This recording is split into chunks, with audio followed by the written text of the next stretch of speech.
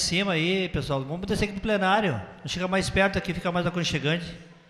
Vamos, Jorge, o Milton, todo o pessoal aí de cima aí. Vamos chegar aqui no plenário, fica mais aconchegante. Vem cá, meu amigo. Aí do PSB. Todo o pessoal que está aí, vamos sentar aqui mais pertinho, vamos conversar mais de perto, fica mais. Fica mais tranquilo aqui. Vamos chegar. Flávio, vem para cá, fala mais perto.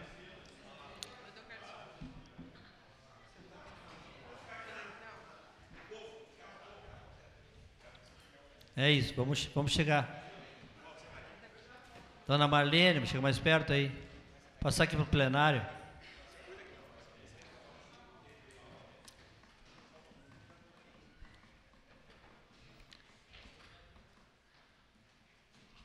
Pessoal da Câmara, está tudo ok?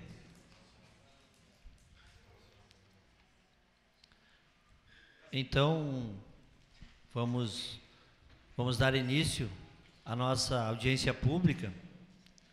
E eu, para quem não me conhece, eu vou me apresentar, sou o vereador João Caos.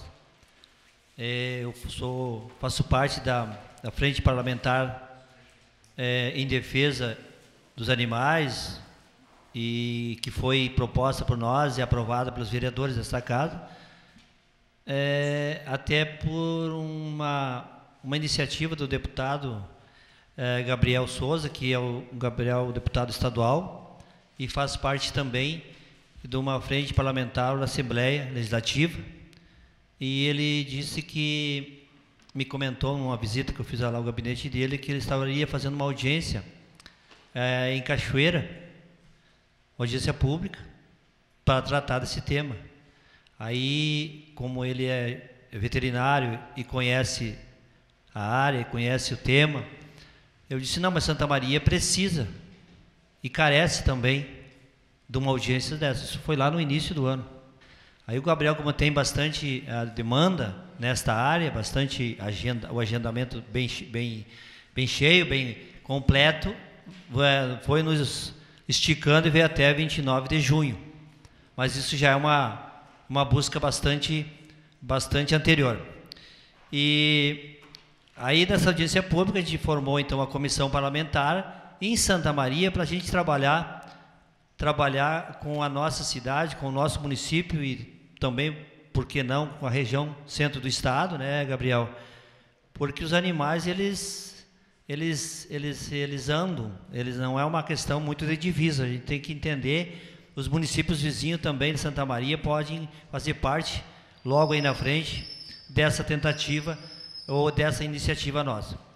É, o que a gente é, pensa como vereador e, e como morador da cidade, que esse tema tem pessoas muito, muito mais capacitadas do que eu, e eu sou pessoa que reconheço os meus limites, mas eu conheço a causa na prática, ou seja, eu moro na comunidade, eu morei no interior e a gente ouve muito as, as pessoas e ouve o anseio que as pessoas têm por, pelo trato dos animais ou pelo distrato que se vê e a gente percebe também o anseio daqueles que estão uh, têm as suas ONG, têm as suas iniciativas, seus, seus grupos, enfim, nessa, nesse sentido e que não consegue é, unir forças suficiente para que dá um impacto realmente positivo na sociedade. É isso que me parece.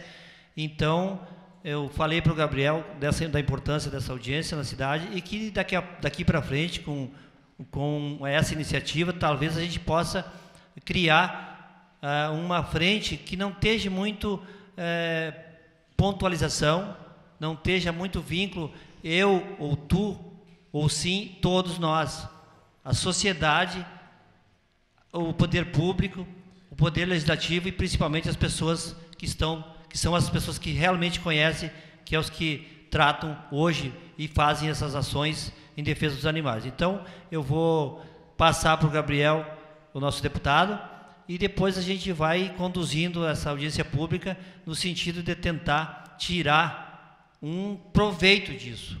Eu sempre gosto de trabalhar com produtividade. É, porque o discurso de colocar a culpa no vizinho, ou no, no passado, no futuro, me parece que não dá muito retorno. eu acho que a gente tem que ver o que, que a gente tem, o que foi feito e o que, que a gente pode fazer. É essa minha proposição pessoal. Né? Que a gente possa tirar de uma reunião, porque hoje são sete horas da noite, as pessoas vêm de casa eh, tentando colaborar e, e, a gente tem que tentar ver que, que, com que isso esteja retorno, e também não seja mais uma ação eh, isolada e que não esteja uma, uma sequência. Essa é a nossa visão. Então, eh, obrigado, deputado, de ter se disposto. O deputado tem uma agenda cheia, mas se dispôs a vir para a nossa cidade, a convite da nossa frente parlamentar, para conversar e falar o que, que ele sabe, o que, que ele entende e, o que, e ouvir, principalmente, né, deputado, a população de Santa Maria, para ver se a gente junto, junto nós possamos. Né, aí temos aqui a Selena, que é a nossa é, superintendente da vigilância sanitária, o Flávio também trabalha, que é, é, é um veterinário, e ele é um professor, eu tive conversando com ele, conversei com a dona Marlene, enfim, com algumas pessoas da, da causa, e esse não é, o Flávio ele não é um conhecedor, ele é um professor, ele, ele sabe muito, eu disse para ele, Flávio, tu, tu vai lá e tu não fala muito, porque tu sabe demais e tu, tu, tu nos, nos confunde de tanto que tu sabe, então vai devagar para a gente poder te entender. É essa a minha visão do, do Flávio, depois ele vai falar. Porque se ele começa a falar, ele, ele, ele, se, ele se empolga tanto, é, então, nós queremos também agradecer a presença de vocês. Por enquanto, muito obrigado e, e uma, boa, uma boa sessão, uma boa audiência pública para nós. Gabriel Souza. Alô. Boa noite. É, cumprimentar a todos vocês, o vereador João Caos, que é fraterno amigo, Conheci o João lá no litoral, lá na minha região, sou de Tramandaí, e aí ele estava num dia lá precisando de uma ajuda para um irmão dele, né, ajuda de saúde. E aí a gente se achou lá na, na prefeitura, eu era secretário da prefeitura de Tramandaí, e aí ele, a gente se conheceu e a partir dali tivemos, temos um relacionamento pessoal, político, que culminou aqui nessa atividade em conjunto, né? Aqui, quero já parabenizá-lo em virtude de ter criado uma frente parlamentar aqui, no mesmo sentido que nós criamos lá na Assembleia, porque as frentes parlamentares, tu vai acabando, o, o parlamento, eu tenho aprendido bastante isso nos últimos dias, especialmente, tu vai construindo maioria, né? Tem várias pessoas que pensam de um jeito no parlamento, nas cadeiras, onde os senhores estão assentados, ouvindo elas eh, desocupadas, é, sentam pessoas que são eleitas por setores da sociedade, que pensam de um jeito de outro, conflito entre si, divergem, concordam, e aí tu vai construindo maioria. A frente parlamentar ela serve para unir pontualmente alguns parlamentares que pensam parecido sobre algum assunto específico. Então, a frente parlamentar pela renegociação da dívida pública do Estado com a União, por exemplo, reuniu quase toda a Assembleia Legislativa, porque aquilo era uma pauta suprapartidária. Né? É, a frente parlamentar é, pela agricultura familiar é uma frente parlamentar que todo mundo que envolve-se no tema acaba se, se aglutinando em torno. E quando a gente fala da questão dos animais, não só na questão do bem-estar, que é o tema da defesa dos animais, né, mas também no que tange ao controle ou manejo populacional das populações de animais de rua, eu confesso a vocês que essa, essa frente eu, eu, fiz uma frente muito mais de veterinário do que de deputado, né? porque o nome dela já é um nome mais diferente, né? Mane é o controle populacional de animais de rua. Primeira frente parlamentar desse tema no país, eh, no início da legislatura. Hoje já tem várias, a gente acaba fornecendo subsídio para frentes parlamentares em outras assembleias de outros estados e outros municípios também com suas câmaras de vereadores. Mas o importante das frentes, então, é, é tu aglutinar para construir maioria, porque depois quando tu apresenta projetos, proposições, tu já sabe que aqueles parlamentares têm afinidade sobre aquele tema e tu, em tese, pode já sair na frente contando com o apoio desses. Queria cumprimentar a Selena, que representa aqui a Vigilância Sanitária, Dr. Flávio, meu colega veterinário, que estávamos conversando ali agora há pouco, e outra, e politizado, né? Tava ali me contando, pela fala que eu vi, ele, ele lê jornal, vê TV, sabe das notícias e escreve pra, com as suas opiniões. Parabéns aí pela, pelas posições. E também o quero cumprimentar o representante da Secretaria do Meio Ambiente do município, o senhor José Carlos Aguiar. Cadê ele? Está aí? Então, o senhor José Carlos, que veio representando a Secretaria do Meio Ambiente do município. Se tu, o senhor quiser aqui, até para o eu fui lá no Schirmer agora visitar ele, no prefeito, Eu disse, olha, tem que mandar alguém da SEMA, se ele não tiver na fotografia, agora vai ficar ruim para ti, senta aqui do meu lado aqui, porque... É, também cumprimentar a Marlene, do Clube Amigos dos Animais, o Carlos Flávio também, eu já falei do meu colega veterinário da Vigilância, o Elvino Michel, da PASME, é isso? A PASME? É, a Selena Michel, já falei também da Vigilância, a Juliana, que representa o gabinete do vereador Jorge Trindade, a Magali da Rocha, a Rosa Maria Melo, da ONG A Pasp e Júlio de Castilhos. Bom, pessoal, como é que eu, a gente sempre procede aqui com as audiências públicas? Essa aqui é a sétima audiência pública que eu faço no interior do Estado. É, nós, é, eu apresento um pequeno, pequeno data show que a gente organizou com as leis que a gente já tem protocolado na Assembleia, com o que eu acho que pode ajudar na questão do controle populacional de animais de rua, que dialoga com saúde pública, com bem-estar animal, com questões de manejo populacional mesmo, né? E depois eu apresento algumas proposições específicas, assim, dou mais uma, uma aprofundada em três ou quatro proposições que são de minha autoria e que estão tramitando lá na Assembleia Legislativa, até para possivelmente alguma delas poder servir para o caso de vocês aqui de Santa Maria, ou não servindo para você saber que nós estamos tra tratando desses assuntos lá e, se possível, até colaborar né, no diálogo com os outros deputados. Depois que a gente faz essa apresentação, se alguém tiver interesse em usar a palavra, essa é uma audiência pública, qualquer um, qualquer cidadão pode ou cidadã pode usar a palavra. A única coisa que eu gosto de combinar sempre é a gente estabelecer um tempo para todo mundo poder falar, todo mundo tem interesse. E, geralmente esse tempo é de três minutos. Né? Se for preciso mais um ou outro minuto, daí a mesa aqui vai ser solidária. Né? Uh, e sine qua non para nós aqui é ouvir também os representantes da mesa aqui, porque é importante ouvi-los, né? o pessoal da vigilância, especialmente o pessoal da Secretaria do Meio Ambiente. Se for possível também, depois fazer uma fala né, sobre o que é que o município está organizando sobre isso, seria importante. E quero cumprimentar também o Celso Carvalho, que é assessor da minha querida amiga deputada, colega Lisiane Bayer. Bom, então vamos partir para o trabalho aqui rapidamente. Né? Eu queria também cumprimentar os telespectadores da TV Câmara, que está sendo televisionado e certamente vai, vai poder nos ajudar a alcançar um público considerável. Vamos lá então. Sim. Bom, aqui é o seguinte, ó, o Brasil ele não tem um censo. O, se perguntar assim, qual é a população de seres humanos que, do, de brasileiros aqui no, no país, vai ter lá o IBGE tem um censo e a projeção do censo do crescimento populacional das pessoas, né? Uh, se eu não me engano, é mais de 200 milhões de brasileiros. Aqui no Rio Grande do Sul são 11 milhões e 200 mil gaúchos. Tá? Esse eu tenho que saber, né? Esse é meu dever saber, né? Mas animais, o, o, o, não tem um censo. Por que, que tu quer que tenha um censo de animais? Você é o básico, na minha opinião tu tem que saber quantos animais tu está trabalhando, porque senão tu não sabe. Por exemplo, vamos fazer uma campanha de microchipagem de animais, não sabe quantos microchips tu compra, começar por aí, né? Um negócio meio. Quantos veterinários, quantas castrações eu contrato, quanto, né? quais são, qual é o tamanho do, da, do, da minha população, do universo populacional para poder trabalhar com, com foco, com objetivo. Então, pra, isso é uma coisa que tem melhorado e hoje nós temos o no PENAD, que é o, a Pesquisa Nacional por Amostra de Domicílios, que é um estudo que o IBGE faz antes do censo. O censo é de 10 em 10 anos e o PENAD é de 10 em 10 intercalado. Então, 2015 teve PENAD, 2020 vai ter censo. Porque o último censo foi em 2010, correto? Então, o PENAD, porque é uma amostragem, o, o, o, o censeador, o recenseador não vai, o funcionário do IBGE, aquele que vai com coletinho, e com um aparelhinho nas nossas casas, ele não vai em todas as casas no PENAD, ele faz uma amostragem.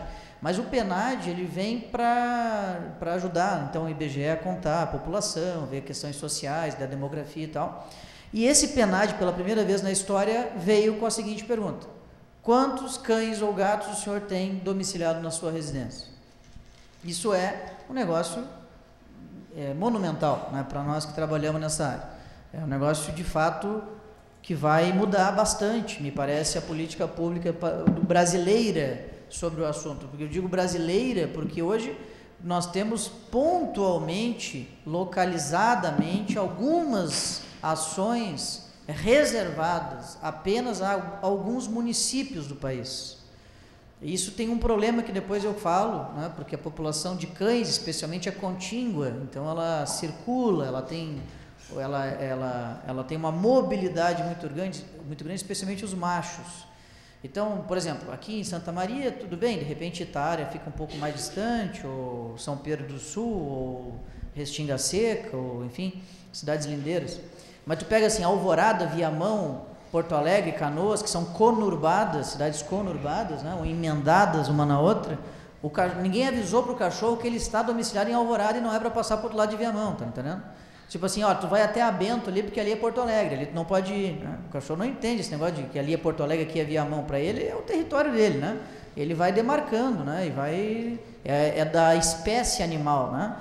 Então, eu estou botando isso aqui, ó. O OMS, Organização Mundial de Saúde, ela tem um, uma estimativa bastante conhecida entre os veterinários que trabalham com saúde pública.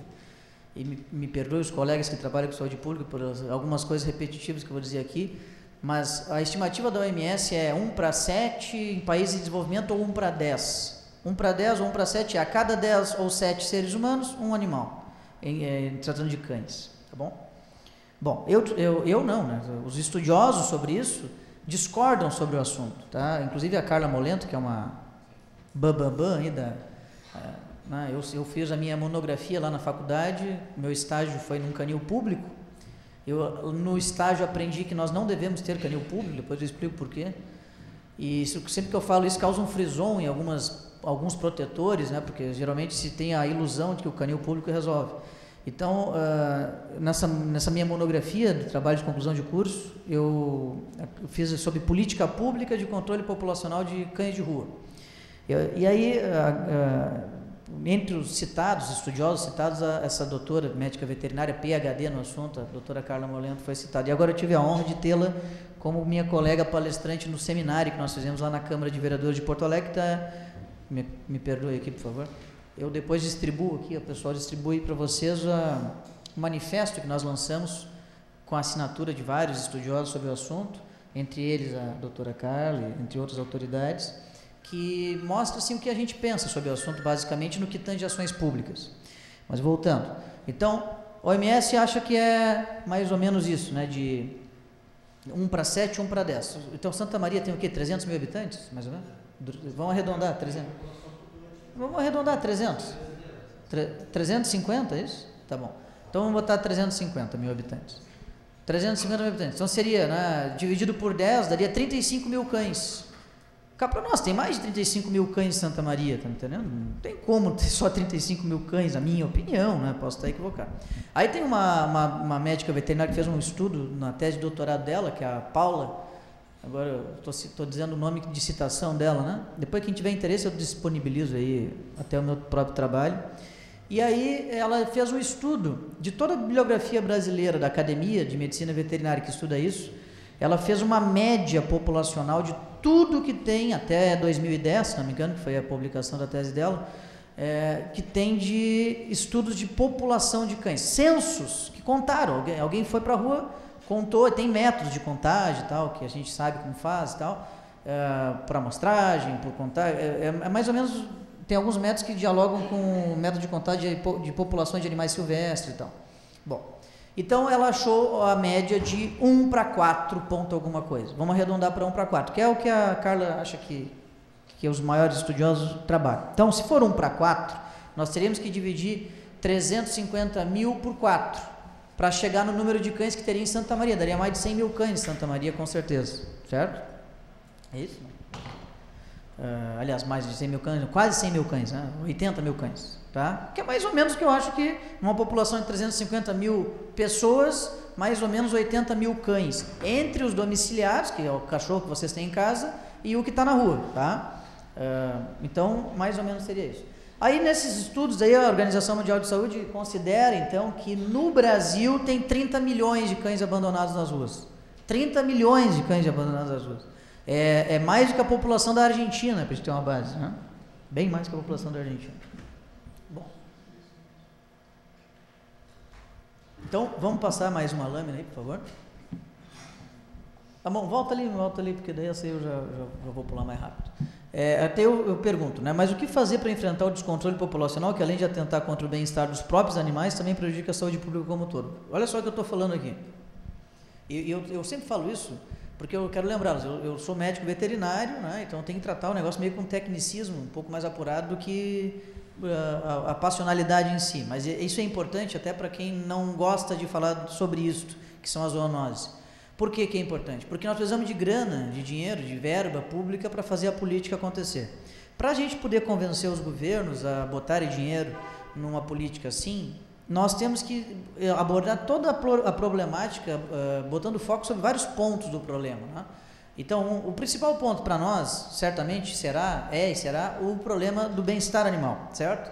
Nós temos cães uh, com seu bem-estar comprometido, cães e gatos, animais com seu bem-estar comprometido, estando do jeito que estão na rua, é, sofrendo maus tratos. Eu sou veterinário militante, então tenho consultório, quem me acompanha nas redes sociais sabe é, tenho fotografia lá de cachorro que eu atendo, que é um negócio desastroso. O último agora tentaram arrancar o olho do cachorro, está o olho caído, assim, com toda a parte do, do seio frontal aqui é, danificado e tal. Então, conheço bem, sei, já atuei, atuo e, e, e isso, inclusive ajudo muitas ONGs né, de proteção animal sobre combate a maus tratos. Tem os maus tratos. Mas também é possível que a gente tenha tido, esteja tendo um problema que no conceito de saúde única, né, que daí seria envolvendo saúde animal, ambiental, é, alimentar e humana, também humana, que a gente chama mais aqui no, coloquialmente de saúde pública. Saúde pública, ah, isso aí é saúde pública, saúde pública é saúde de todo mundo, né? Mas assim, então esse conceito de saúde única, nós precisamos garantir a saúde dos animais para que a saúde dos outros seres não seja comprometida também e vice-versa, e vice-versa. Então, por isso que sempre que alguém, geralmente aparece alguém e diz assim, não, mas eu não gosto de cachorro, eu por mim, né, isso aí não me interessa. Eu já ouvi prefeito falar isso a mim até.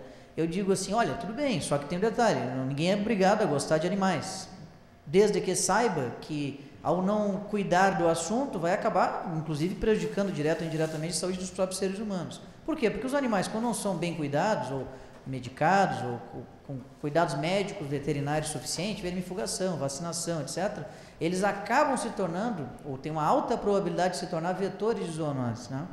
E aí tem lá algumas doenças zoonóticas, que são aquelas doenças transmitidas entre seres humanos e animais e vice-versa, catalogadas, entre as quais eu destaco especialmente as verminoses, que atacam especialmente crianças, né? que acabam lutando os postos de saúde. Então, essa política aqui não é uma política só de para animais, é uma política para animais que ajuda também os seres humanos. Vamos lá. Então aqui a gente criou essa frente parlamentar que cuida de superpopulação, abandono, maus tratos, esterilização, cadastro microchipagem, educação para guarda responsável e programa de adoção consciente. Vamos lá. Passa mais um aí, Marcelo, só para me lembrar. Não, volta. Olha aqui, ó. Eu só queria falar uma coisa para vocês. Por que, que é que os objetivos da frente parlamentar não é só, por exemplo, castração, tá? É, me perdoem, porque sempre que eu falo isso também eu causo, causo incômodos né, em, em algumas pessoas que se esmeram em fazer é, essa questão da castração. Né? A castração é muito importante, né? continue fazendo, é muito importante. Mas os estudos que nós temos disponíveis, científicos sobre castração, mostram que só castração não resolve. E é, é um horror falar isso, porque eu sei o quanto que as protetoras e as ONGs, especialmente, se esmeram para castrar. E continuem, eu acho que é fundamental, tá? acho que é um pilar central. Mas os estudos, eu vou citar dois, que foram cases dessa questão da castração, mostram o seguinte: na Índia, em uma cidade chamada de Jaipur, foi feito um estudo durante cinco anos um grupo de médicos veterinários e que uh, castrou, olha só o que eles conseguiram fazer, castrar 80% da população feminina de cães. Tá? Sabe quanto que diminuiu a população global de cães naquele território em 5 anos? 20% apenas, certo? É, em 5 anos, castrando 80% da população feminina. Aqui na USP, é o Marcos Amaco, Amaco e sua, sua turma, conhece? Eles fizeram um estudo que é um negócio impressionante, é, a, o quanto que, que, que, é difícil diminuir a população só através da castração. Por que, que é difícil? Porque a capacidade reprodutiva da, da fêmea canina é altíssima, é altíssima.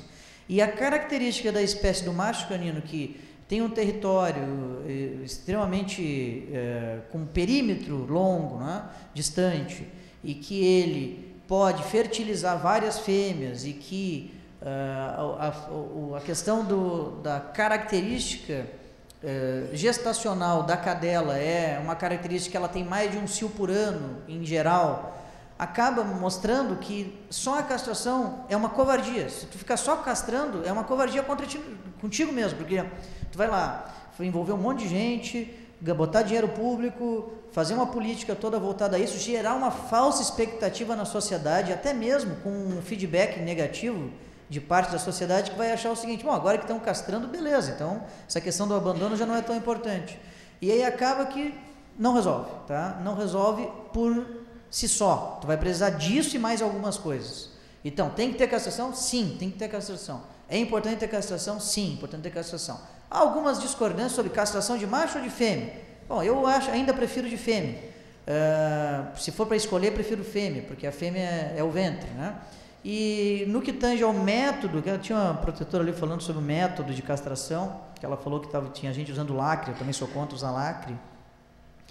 É, lacre para fazer a, a, a, a, castração de fêmea, né? Eu ainda acho que a ovário, esterectomia, que é tirar o ovário e o útero junto, vai até melhorar a qualidade de vida da fêmea é melhor. E daí as técnicas são variadas e tal. No macho entrou agora nos últimos anos a questão da castração química, que seria uma injeção intratesticular de um negócio chamado uh, gluconato de zinco, uh, que junto com um anti-inflamatório chamado dimetilsulfóxido montam lá um, um, produto que bota no testículo e em tese, segundo o fabricante, que já tem autorização do Ministério da Agricultura para vender o produto no Brasil, é, não sentiria, não teria problema de dor ou inflamação nos testículos dos animais. Eu, cá para nós, recomendo que não, não, não, não, se aplique a si mesmo os homens aí, né? Porque uma, só pelo fato de fazer uma injeção intratesticular já acho que causa dor. Então teria que ter um protocolo de analgesia antes e tal, que não está bem claro ainda. Mas isso nós podemos discutir o quanto nós quisermos, né? sobre essa questão de castração, como faremos. O importante é fazer. Né? E o importante é saber que fazendo não resolve por si só, nós vamos ter que fazer mais coisas. Daí o porquê nós temos que ter guarda responsável, e aí para isso é preciso ter microchipagem, o registro dos animais. O que, que é o microchip? Microchip, teve uma, uma autoridade no assunto esses dias dizendo que é contra o uso de microchip, porque acha que o microchip altera o comportamento do felino, principalmente. Não tem nenhum estudo científico sobre isso. O microchip, ele é do tamanho de um grão de arroz. Todo mundo sabe qual é o tamanho de um grão de arroz. Ele é feito de material biocompatível e, o, e somente o médico veterinário pode aplicar. Por quê? É uma barbada aplicar um microchip. Né? Você já ouviu isso também? É porque, é, para não ter uma, um processo inflamatório mais agudo ou um, uma infecção até mesmo do local de aplicação, o veterinário é um profissional que foi treinado para saber como faz, como é que faz a sepsia, como é que faz o procedimento né? e, e, até o método de aplicação. Mas ele é relativamente simples, por quê? Porque tu faz no tecido subcutâneo do animal. Então é como se eu pegasse a pele do animal, levantasse e injetasse de maneira sub, no tecido subcutâneo esse microchip do tamanho de um grão de arroz. O corpo, o organismo do animal vai envolver ele num processo chamado de fibrose, vai aderir ele no, no tecido e vai ficar ali quietinho, sem incomodar, sem doer, sem nada. E o animal nem vai notar minutos depois. Só que para a política pública vai ser muito importante porque no momento em que eu passar o leitor do microchip em cima, eu vou ter um número. E esse número vai estar tá cadastrado lá no software online que a fabricante disponibiliza. E dentro daquele cadastro eu posso colocar o nome do proprietário, um telefone, o um endereço, o histórico clínico, se foi castrado ou não foi, etc. E tal. Né? Posso, aí o céu é o limite das informações que podem ir para dentro daquele microchip. E o que, que vai adiantar isso? Vai adiantar o seguinte: é, primeiro, se eu ver um animal abandonado na rua, e na minha utopia aqui, né, porque ainda é utópico, mas temos que trabalhar com essa possibilidade de conseguirmos microchipar de, é, milhares de cães de Santa Maria, no momento que alguém abandonar um cachorro, a primeira coisa que eu posso saber é quem abandonou, certo? Ok? E aí eu posso ter níveis de ação lá com a Secretaria do Meio Ambiente para poder uh, intervir junto ao proprietário. Eu posso inicialmente ter uma advertência, porque o cachorro pode ter fugido de casa. Segundo, eu posso aplicar uma multa. E terceiro, eu posso inclusive fazer um processo crime contra ele, é, através inclusive do conselho do Ministério Público. É, lá em São Paulo eles estão tentando fazer isso. Eu tive uh, um pequeno momento do meu estágio que fiquei no Centro de Controle de Zoonose de São Paulo. É, então, o registro é fundamental. Microchipagem. Inclusive o prefeito Chico me disse que tem lei sobre isso aqui. no município. Depois o secretário vai, vai contar aqui para nós. Tem uma legislação que já. Então vamos lá, temos que avançar nesse ponto. Bom, também acho que nós temos que ter educação sobre o assunto e por isso precisa ter nas escolas, não uma disciplina sobre isso, mas atividades lúdicas com criança. Lá no município de São Paulo, que eu utilizo como exemplo, criou um programa para viver de bem com os bichos. E aí tem as pessoas, as professoras que montam atividades lúdicas, ensinando como é importante não abandonar o animal, não comprar por por impulso consumista na feira de filhote. Você sabe como eu sou clínico de pequenos animais lá em Tramandaí, que é no litoral, tem aquelas shoppingzinhos de verão, vocês conhecem aquilo? As mulheres gostam de ir lá comprar roupa, né? No shopping de verão. Shopping de fábrica, feira de fábrica. Aí lá no fundo da feira de fábrica tinha uma mania, ainda tem, né? Mas agora nós diminuímos bastante. Que era o seguinte, tinha uma. Eles chamavam de feira de filhote. O que, eram as feiras de filhote? Eles juntavam lá uns meia dúzia de, de jornal no chão, botavam cercas ou gaiolas e botavam filhote de cães dentro daquele local, geralmente muito quente, porque o fundo do, da feirinha já não tem ar-condicionado, já é o local de embarque e desembarque, carga e descarga para entrar o, a mercadoria e tal. Então tu tinha lá uma loja vendendo roupa, outra vendendo eh, eletrodoméstico, outra vendendo não sei o que, bijuteria, daqui a pouco tem um, um ambiente lá com filhotes, logo não tem imunização suficiente para estar ali exposto àquela situação, né? mas isso eu não vou nem chegar nesse ponto. Eu acho engraçado o seguinte, porque cada 10 sinomoses que eu atendo no verão, 11 são de feira de filhote, essa é a minha estatística. Né? É 150% de feira de filhote. Porque é impressionante o que acontece nessas feiras de filhote. Um negócio fantástico, é desastroso. Tá? Desastroso. Aí fizemos uma lei municipal lá e tal para coibir, eu pedi, eu, pedi licenciamento ambiental, estava falando de licenciamento ambiental. Pedi, ó, precisa de licença ambiental, e na licença ambiental tu pede até a cor da cueca do veterinário responsável técnico. Né? E aí nós diminuímos o número de feiras de filhote. Bom, mas o fato é que essa compra pelo consumismo é o que gera muito o abandono também. Né? Então a gente precisa trabalhar com educação para a guarda responsável. Né? Então eu, daria, eu diria assim que se eu tivesse que estabelecer quatro pilares da política sobre controle populacional de animais domésticos, eu diria que a castração, a educação para a guarda responsável, o controle, a monitoramento, a fiscalização é? para coibir maus tratos, para punir, para aumentar a fiscalização, fiscal ambiental ter entender que eh, não é o caso, não sei se é o caso, mas deixa eu fazer uma provocação aqui. É, fiscal ambiental. fiscal ambiental se vê cortando uma árvore. Se tu estiver cortando uma árvore na frente da tua casa, o que, que ele faz? Ele avança em cima de ti, ele te notifica, ele faz, um, é, ele faz o certo, está correto. Né? Teria que ter licenciamento, não podia fazer, se a espécie é nativa é pior ainda, etc, etc. Se eu chego com denúncia de maus tratos com o fiscal ambiental, opa, isso não é comigo, isso aí é em geral, não estou falando que é aqui. Tá? Aí isso, não, não, isso é, veja bem e tal, né, a patrã, aí tu liga para a patrã, não, veja bem, nós não temos veterinário na patrã, você sabia disso? A Polícia Ambiental do Rio Grande do Sul não tem nenhum médico veterinário nos seus quadros. A, a Brigada Militar tem veterinários para o canil, para o curral, etc., mas para a patrã, nenhum, não tem a carreira de médico veterinário, nem biólogo da Polícia Ambiental. E aí o cara não vai conseguir atestar, porque quem é que sabe que o cachorro está em maus tratos ou não? Às vezes nitidamente, mas outras vezes nem tanto. E aí precisa de um laudo. Aliás, para a frente do juiz vai precisar do laudo igual. Né? Então, por isso a importância de ter veterinário junto. Bem, então a fiscalização é importante. E o quarto ponto seria ah, o registro da, dos animais. Tá? Então é por isso que eu vou mostrar para vocês alguns projetos de leis aqui bem rapidamente. Vamos para cima ali, Marcelo. Vai. Esse aqui é o que cria a política estadual de controle populacional de animais domésticos, esses dias no Facebook. O Facebook é um negócio fantástico, né? É um negócio fantástico, as pérolas que saem dali. E uma das pérolas foi o seguinte: Deputado Gabriel, o senhor é um mentiroso. Começou assim já, tá bem? E aí ele está falando comigo, mas está todo mundo lendo, né? Porque ele trouxe um comentário, né? aí eu fiquei lendo, né? Esse eu parei para ler. O senhor é um mentiroso, porque se o Sartori não consegue pagar a folha em dia, vai conseguir castrar cachorro? Ele está coberto de razão. O, Sartori, o governo do estado jamais conseguiria castrar cachorro, né? não tem um centavo para isso. E talvez não tenha nem, nem a função, né? porque isso teria que ser uma política municipal. Mas eu acho que nós podíamos organizar a coisa. Tá? Eu acho que o Estado do Rio Grande do Sul teria que ter uma legislação que organizasse. O que é que a legislação diria? O que eu acabei de falar. O que eu acabei de falar botando regras, botando jeito de fazer, métodos, estabelecendo o que cada um faz, dando amparo para o fiscal ambiental dar uma atuada um pouquinho mais forte, dando amparo para a vigilância sanitária, dando amparo para os nossos amigos lá do Ministério Público, né? para a própria Polícia Ambiental. Né? Quer dizer, a coisa hoje, como é que está? Ela não está, né? porque ela está completamente desorganizada. Cada um faz um pouco, né? e aí se um governo faz, aí daqui a pouco termina pela metade, o outro já não, não, não aprimora, ou esquece, ou não faz. Né?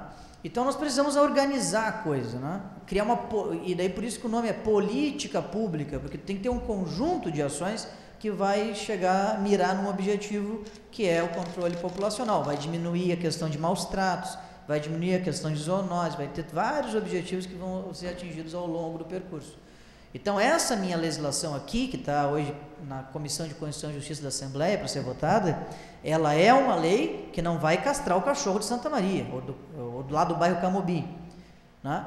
nem de Serafina, de, de Serafina Correia, ou de, vou pegar um exemplo aqui do município, aqui do lado de Restinga Seca, de Paraíso do Sul, de, de Júlio de Castilhos. Não, Itália eu já falei, quero mostrar que eu conheço a região. Não adianta ficar repetindo figurinha que os caras vão ver que eu, que eu vou achar que eu sei de dois ou três e estou treinado para falar, e aí não, eu não me exibo para vocês. Né? Né? Mas brincadeiras à parte, é isso, né?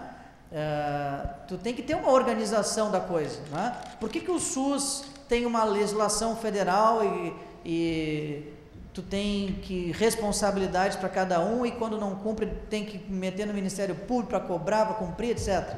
E quando não cumpre igual, vai para a TV, para a imprensa, para o rádio, para o jornal e a população sabe que está errado. Porque está na lei dizendo, ó, isso aqui, o Estado faz isso, o município faz aquilo, a União faz aquilo lá e tal. Né? Então tu tem uma organização. Né? Uh, e, e, e vê, né, no caso do SUS, mesmo assim, com dificuldades extremas de funcionar por falta de financiamento e de gestão. Tu imagina no caso da política de, de controle de população de animais de rua, que não tem nenhuma lei estadual e muito menos federal. Né? Então eu acredito que tenha que ter, por isso apresentei o projeto. Passa aí. Ah, sim, isso aqui, ó, hoje eu estava na rádio. Qual é a rádio que eu estava? Não, não, estava numa rádio. Eu estava na rádio Santa Mariense ou na Medianeira. E aí o, o, entrevistador, não foi na Medianeira, o entrevistador falou assim, o Marquinhos, né? não é dele, né? Marquinhos, eu? E aí o Marquinhos disse assim para mim, o Gabriel, o, tu, esse negócio do, da eutanásia, o que, que tu acha? Mas isso não existe mais, né? isso há 15 anos, né? desde o início da década passada, 2009, no Rio Grande do Sul teve uma legislação que proibiu, o cara que fizer isso vai se incomodar com a polícia, pode denunciar, né? Eutanásia como método de controle populacional. O que, que é isso? É, é, sacrificar animais sadios, animais que não têm nenhum sinal clínico de patologia, nada. Era assim que funcionava. Como é que funcionava? Tu pegava o animal na rua com a famosa carrocinha, levava para o Centro de Controle de Zoonoses, que a FUNASA, Fundação Nacional de Saúde, tinha uma política com dinheiro para mandar para os municípios construírem os seus CCZs, em três níveis, nível 1, 2 e 3, e eu estou fazendo assim porque é o tamanho, a quantidade de metros quadrados do centro. E lá nesses centros, o que, que se fazia? Se fazia eutanásia de animais sadios como método de controle populacional. A ideia era, olha, vamos tirar os animais da rua. Se em tanto tempo não aparecer um proprietário reclamando dele, mata o animal, porque é um a menos na rua. Essa era a ideia estúpida que se tinha. E o pior, a Organização Mundial de Saúde, até 1992 ou 93, dizia que era assim que tinha que ser feito, por incrível que pareça. Tá? Hoje não, não, não, se admite isso, não só pela monstruosidade que é, mas pela. É, pela, pela não, não, resolve o problema, não, não, adianta. Daí tem uma explicação técnica, científica, por que, que não resolve o problema. Tá? Que foi o que convenceu a OMS, a Organização Mundial de Saúde, e que fez com que ela, a Organização Mundial de Saúde, dissesse para o mundo inteiro que isso é errado. Tá bem? Mas, vejam bem, continuaram os canis públicos. Continuou a política de ter canil público. Por quê? Porque o ser humano, e eu me incluo nisso também, acho que todos nós somos passíveis de ter os nossos defeitos, das, da nossa espécie, né, que é a humana. Quando tem um cachorro na minha frente me incomodando, está no cio, né, seguido lá na prefeitura, isso aqui da vigilância deve ouvir muito. A cadela está reinando aqui na minha rua, não dá para te buscar ela e tirar daqui, né? Reinando está no cio, né? Ah, o cachorro é muito brabo, o cachorro está latindo, tem, sei lá, alguma coisa que, que o valha. O ser humano quer, a pessoa geralmente, né, não vamos generalizar, mas geralmente a pessoa quer que tire da frente dela e mande para qualquer lugar, porque quando tu tirou da frente dela, para ela está resolvido o problema. Ah, resolveu, tirou da minha rua, pronto, não tem mais esse problema. Esse problema está tá resolvido. Sim, mas e onde é que leva o cachorro? Aí as prefeituras começaram, desde aquela época, e até hoje alguns perduram, em criar canis públicos.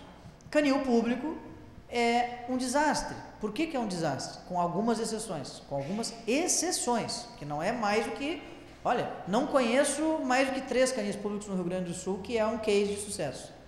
Eu não conheço. E eu conheço bastante canil público. Não sei nem se Santa Maria tem. Tem? Não. Bom, como é que é que funciona? Canil público é um presídio canino. Por que, que é um presídio canino? Porque a demanda de entrada de cães sempre vai ser maior que de saída. Ah, mas nós vamos fazer feirinhas de adoção na praça. Que as ONGs fazem e fazem muito bem. E é importante que façam. Mas tem um detalhe. Então não tem como. Entra 20 numa semana, tu vai doar dois. Entra 50 no mês, tu vai doar 10. Não tem, é incompatível. Fora as linhadas que jogam né, na frente é, do, do canil ou da, do centro de controle dos zoonoses. Então o que acontece? Vai ficando um albergue, um depósito de cães e cães e cães. Pergunto para vocês. Pensem comigo. É melhor para esse cachorro tá na rua ou tá dentro de uma baia 2 por 2 cheio com uns 10 cães junto, geralmente brigando entre si, com uma higiene extremamente de péssima qualidade, ou seja, cheio de, de fezes e urina, é, um, um, incubatório de vírus, é a farra do vírus, do fungo e da bactéria. Né? Não tem como não ser diferente. Tu bota um filhote lá dentro, em 10 dias ele está com sinomose, não tem dúvida disso. Parovirose, está né? Tá com qualquer coronavírus, está com, enfim, com qualquer doença. Tosse do canil é beleza, é um, é um tosse do canil, né, que é a, a, traqueobronquite, é isso? Infecciosa, vocês que são professores, me ajudem aí, faz tempo. É, é, tosse do canil, aquela tosse engasgada que o cachorro faz, parece um ganso, né? Engasgado. Ah, uma tosse improdutiva, que passa de um para outro rapidamente. Em canil é a coisa mais, mais normal do mundo, né? Por quê? Porque quando o cachorro chega no canil, amigo, é porque o cachorro está no Afeganistão, né? É, eu, como fiz estágio em canil, conheço bem, era um negócio, quando chegava cachorro atropelado, cachorro com, com né, com bicheira, cachorro é, com TVT, tumor venéreo transmissível, né? Geralmente quando ligava o telefone, ó, oh, tem uma cadela aqui que foi estuprada, eu já sei que é TVT, traz porque vão ter que fazer quimioterapia, vão ter que fazer. Né? Então, será que canil resolve? Né? Então, canil me parece que é um grande problema. E outra coisa, no momento que tu fez o canil, é difícil desmontar, porque tu tem os cachorros, os cães que estão ali, como é que tu tira, onde é que tu coloca. Daí o porquê que é importante trabalhar com a questão do animal comunitário. Porque o animal comunitário, quando bem feito, vermifugado, castrado, na rua, com a população consciente de que aquilo é um programa oficial, autorizado inclusive pela Câmara de Vereadores, daqui a pouco aquilo pode ser uma solução. Tem até uma fundamentação legal, porque tem lei estadual sobre isso de 2009. 2009 então, eu acho que se nós conseguir não criar canil vai ser uma boa coisa. Até porque aquilo ali, a eutanásia, né, que estava ali antes, aquilo é, é, completamente proibido, estupidamente errado e além de monstruoso e era por isso que se tinha canil. Só por curiosidade, vou contar para vocês uma. Quando eu fui fazer lá minhas, meus trabalhos no canil de São Paulo, no CCZ de São Paulo, era assim, é, até, é assim até agora, tá? Até hoje. Tu tem três baias, como se fosse um corredor, a primeira baia, que se comunica com a segunda, com a terceira, e na quarta é uma, uma sala.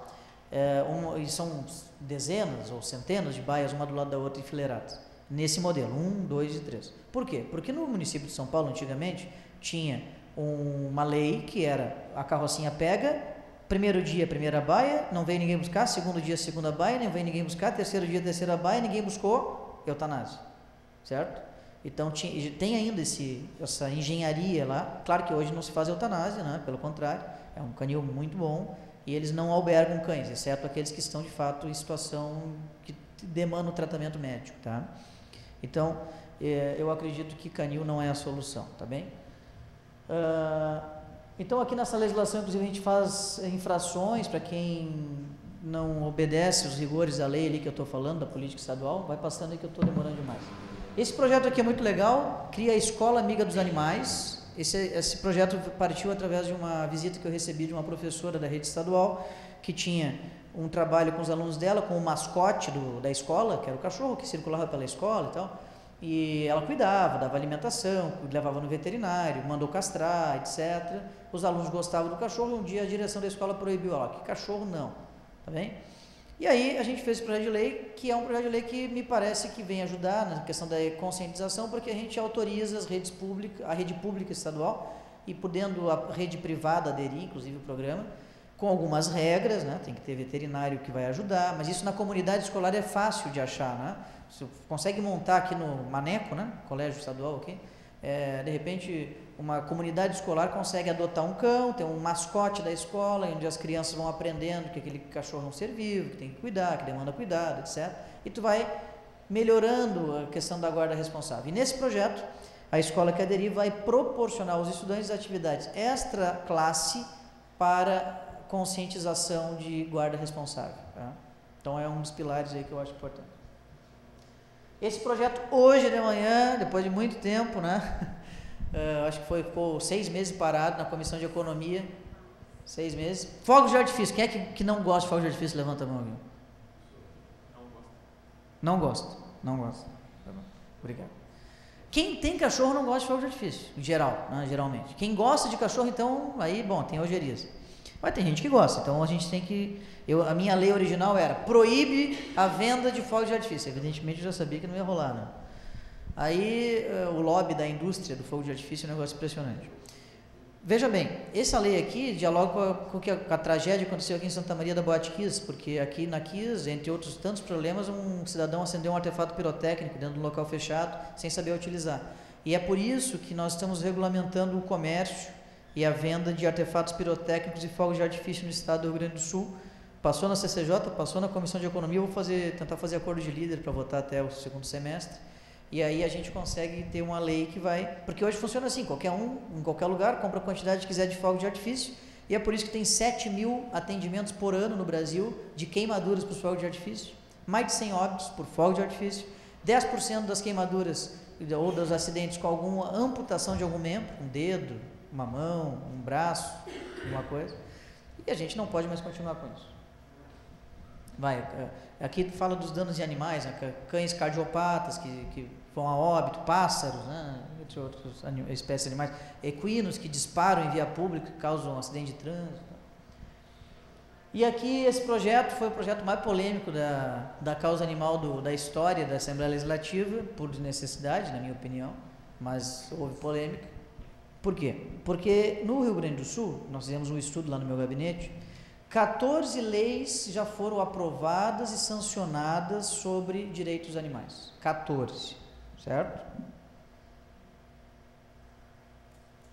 Por exemplo, a lei da microchipagem existe no estado do Rio Grande do Sul. Mas por que, vocês não conhecem ela? Por que, ela não está em vigor? A lei que proíbe cães de aluguel para guarda. Uh, em Porto Alegre ainda tem uh, empresas que alugam Rottweiler, Doberman, Pastor Alemão, Fila Brasileiro, Pitbull para obras, construção civil, construção civil fica lá três, quatro, cinco dias, às vezes, sem. Uh, quando chove, por exemplo, e o cachorro fica lá, a Deus dará, lá no meio do, do pátio lá da obra, né? sem alimentação adequada, sem nada adequado, né? um negócio absurdo. Né? E tem uma lei estadual aprovada na legislatura passada, do deputado Paulo Odoni, inclusive, que é, proíbe uh, o, aluguel de cães de guarda no estado do Rio Grande do Sul. Parou de alugar cães de guarda? Não. Os cães de guarda ainda são alugados no estado do Rio Grande do Sul. Por quê? Porque não há regulamentação. O que é a tal da regulamentação? Um decreto que o chefe do Poder Executivo, o governador do estado, assina, dizendo os detalhes da lei, explicando como é que vai funcionar e tal. Então, o que a gente fez? A gente pegou as 14 leis e consolidou elas. Juntamos num projeto só e aprovamos já na CCJ, está pronto para votar em plenário.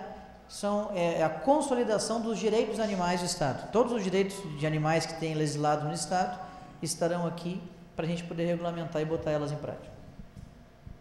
É isso, Marcelo? Tá bem, eu fiz um resumo. Eu, eu, eu só quero falar um. Hã? Como? Ah, é da carroça que eu vou falar agora. Carroça. Quem é que não gosta de carroça aqui? Veículo de tração, tração animal. Todo mundo não gosta, né?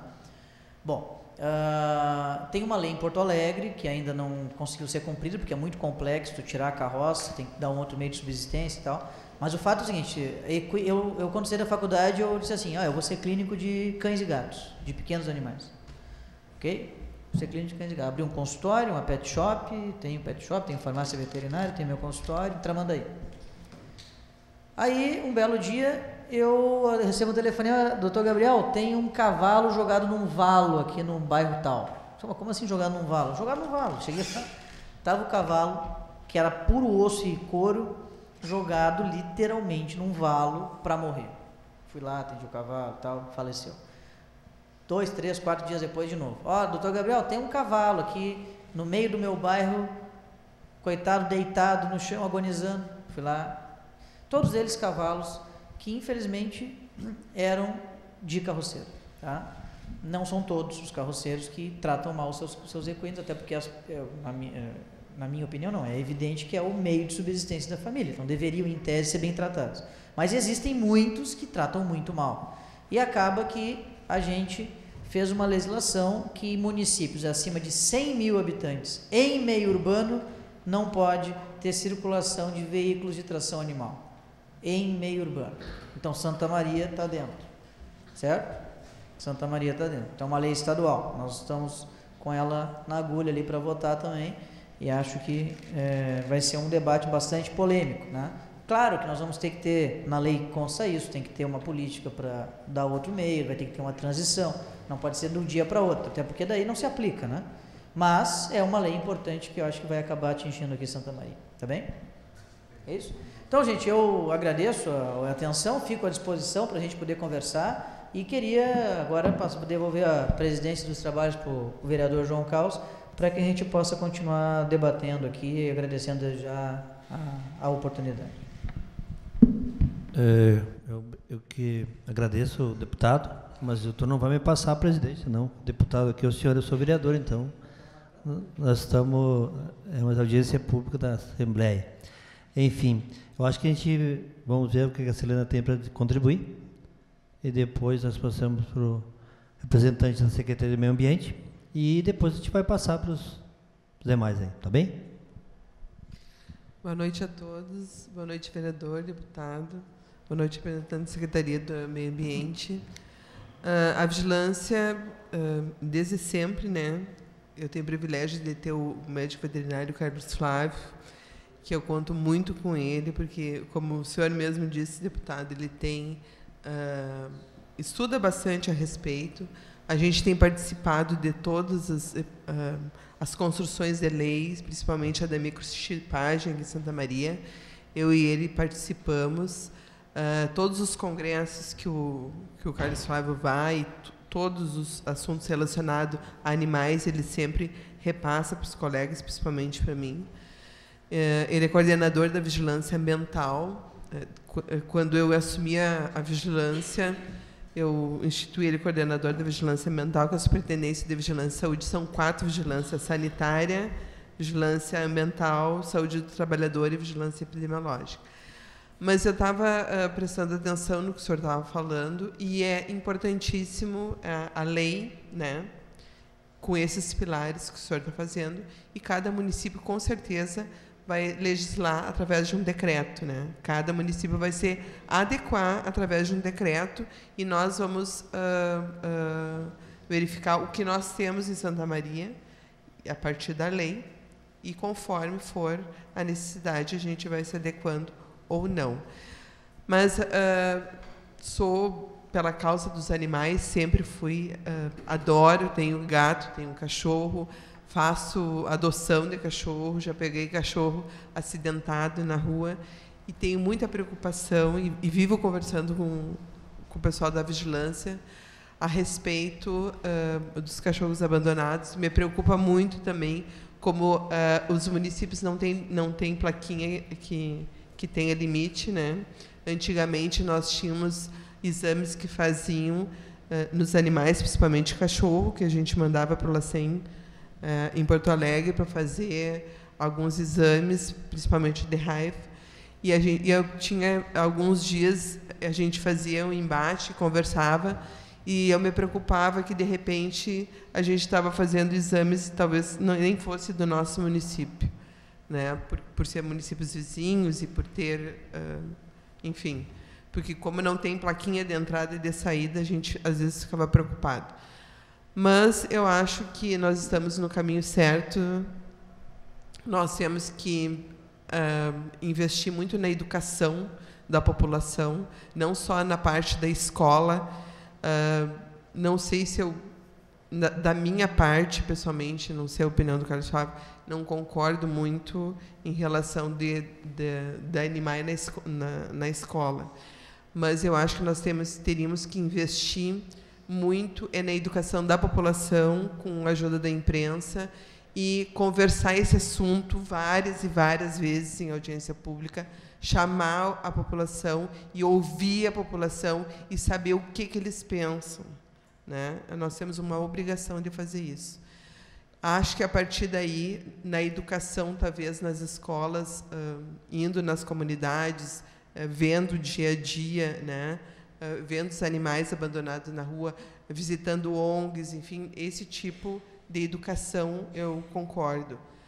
E a população em geral. Me preocupa muito com as pessoas, deputado, que fazem, que dão comida para os cachorros nas ruas, para os gatos na rua, porque nós já vi, eu já vi, e é, várias vezes a gente, inclusive, é, nos comunica que os cachorros morderam uma pessoa. Né? A vigilância epidemiológica, por exemplo, nós temos dados suficientes, tem notificações, porque é uma notificação né, de quando um cachorro morde.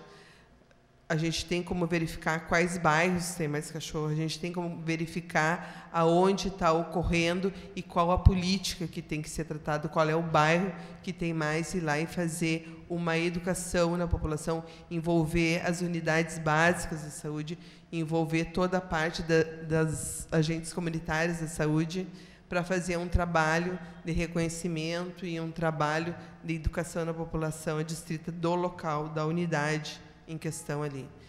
E eu me preocupo em relação a isso, porque eu já sei de casos que as pessoas, e, e tem um, um caso, que a pessoa foi mordida por um animal de rua que era alimentado por uma senhora. O, o, o paciente em questão processou a pessoa e ganhou judicialmente porque ela estava alimentando. No momento que ela alimenta, ela é responsável pelo animal.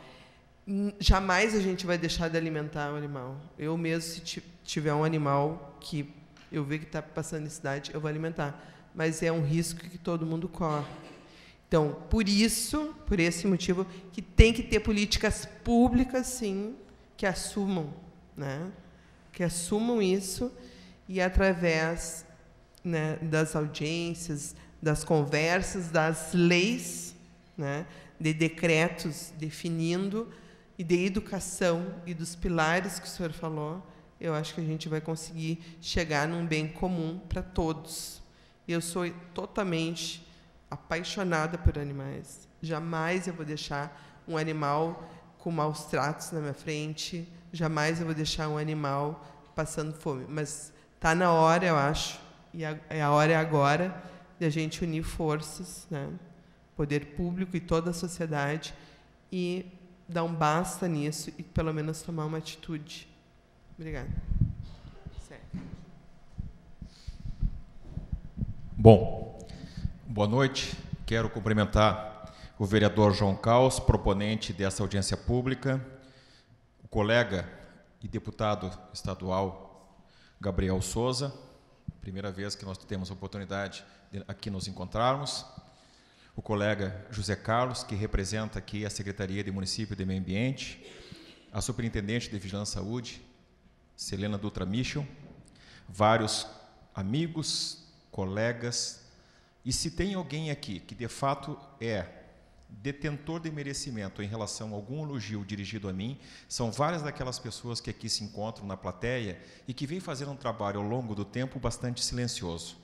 Porque, incrível que pareça, em Santa Maria, como muitas vezes, talvez, o, quem tem colocado o ovo tem sido algum pato, alguma gança, alguma pata, alguma gança, alguma marreca, porque não tem sido uma galinha, porque nós sabemos que o galináceo é o símbolo da propaganda porque quando ela anuncia o produto. E é verdade. O que, eu quero fazer com essa analogia?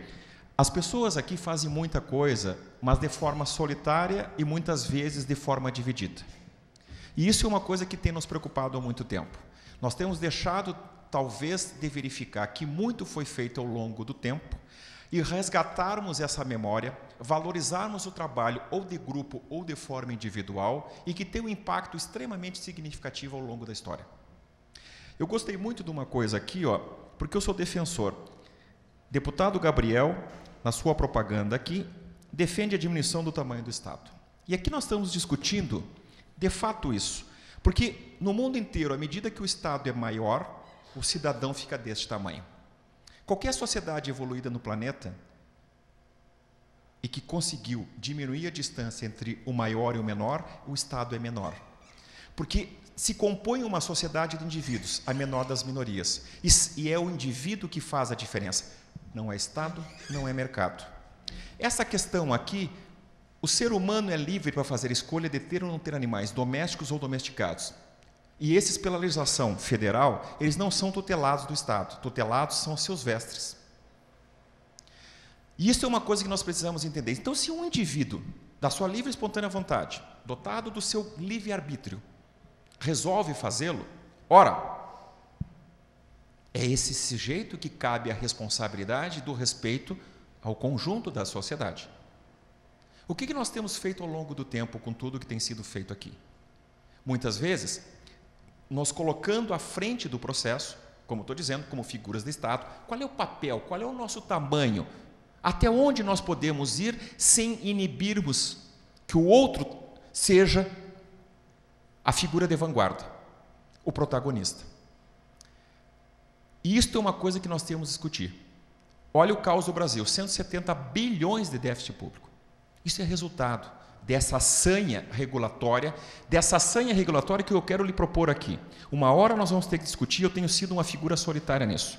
O Estado avança de uma forma voraz, porque o Estado nada produz riqueza, ele extrai a riqueza daquele que de fato gera, que é o cidadão.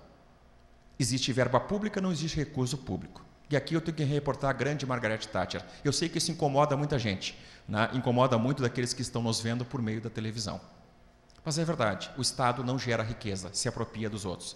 Ora, nós temos uma situação que nós temos que pensar muito bem. Qualquer avanço nesse sentido, qualquer avanço nos trabalhos que estão sendo feitos, tem que ser muito bem pensados.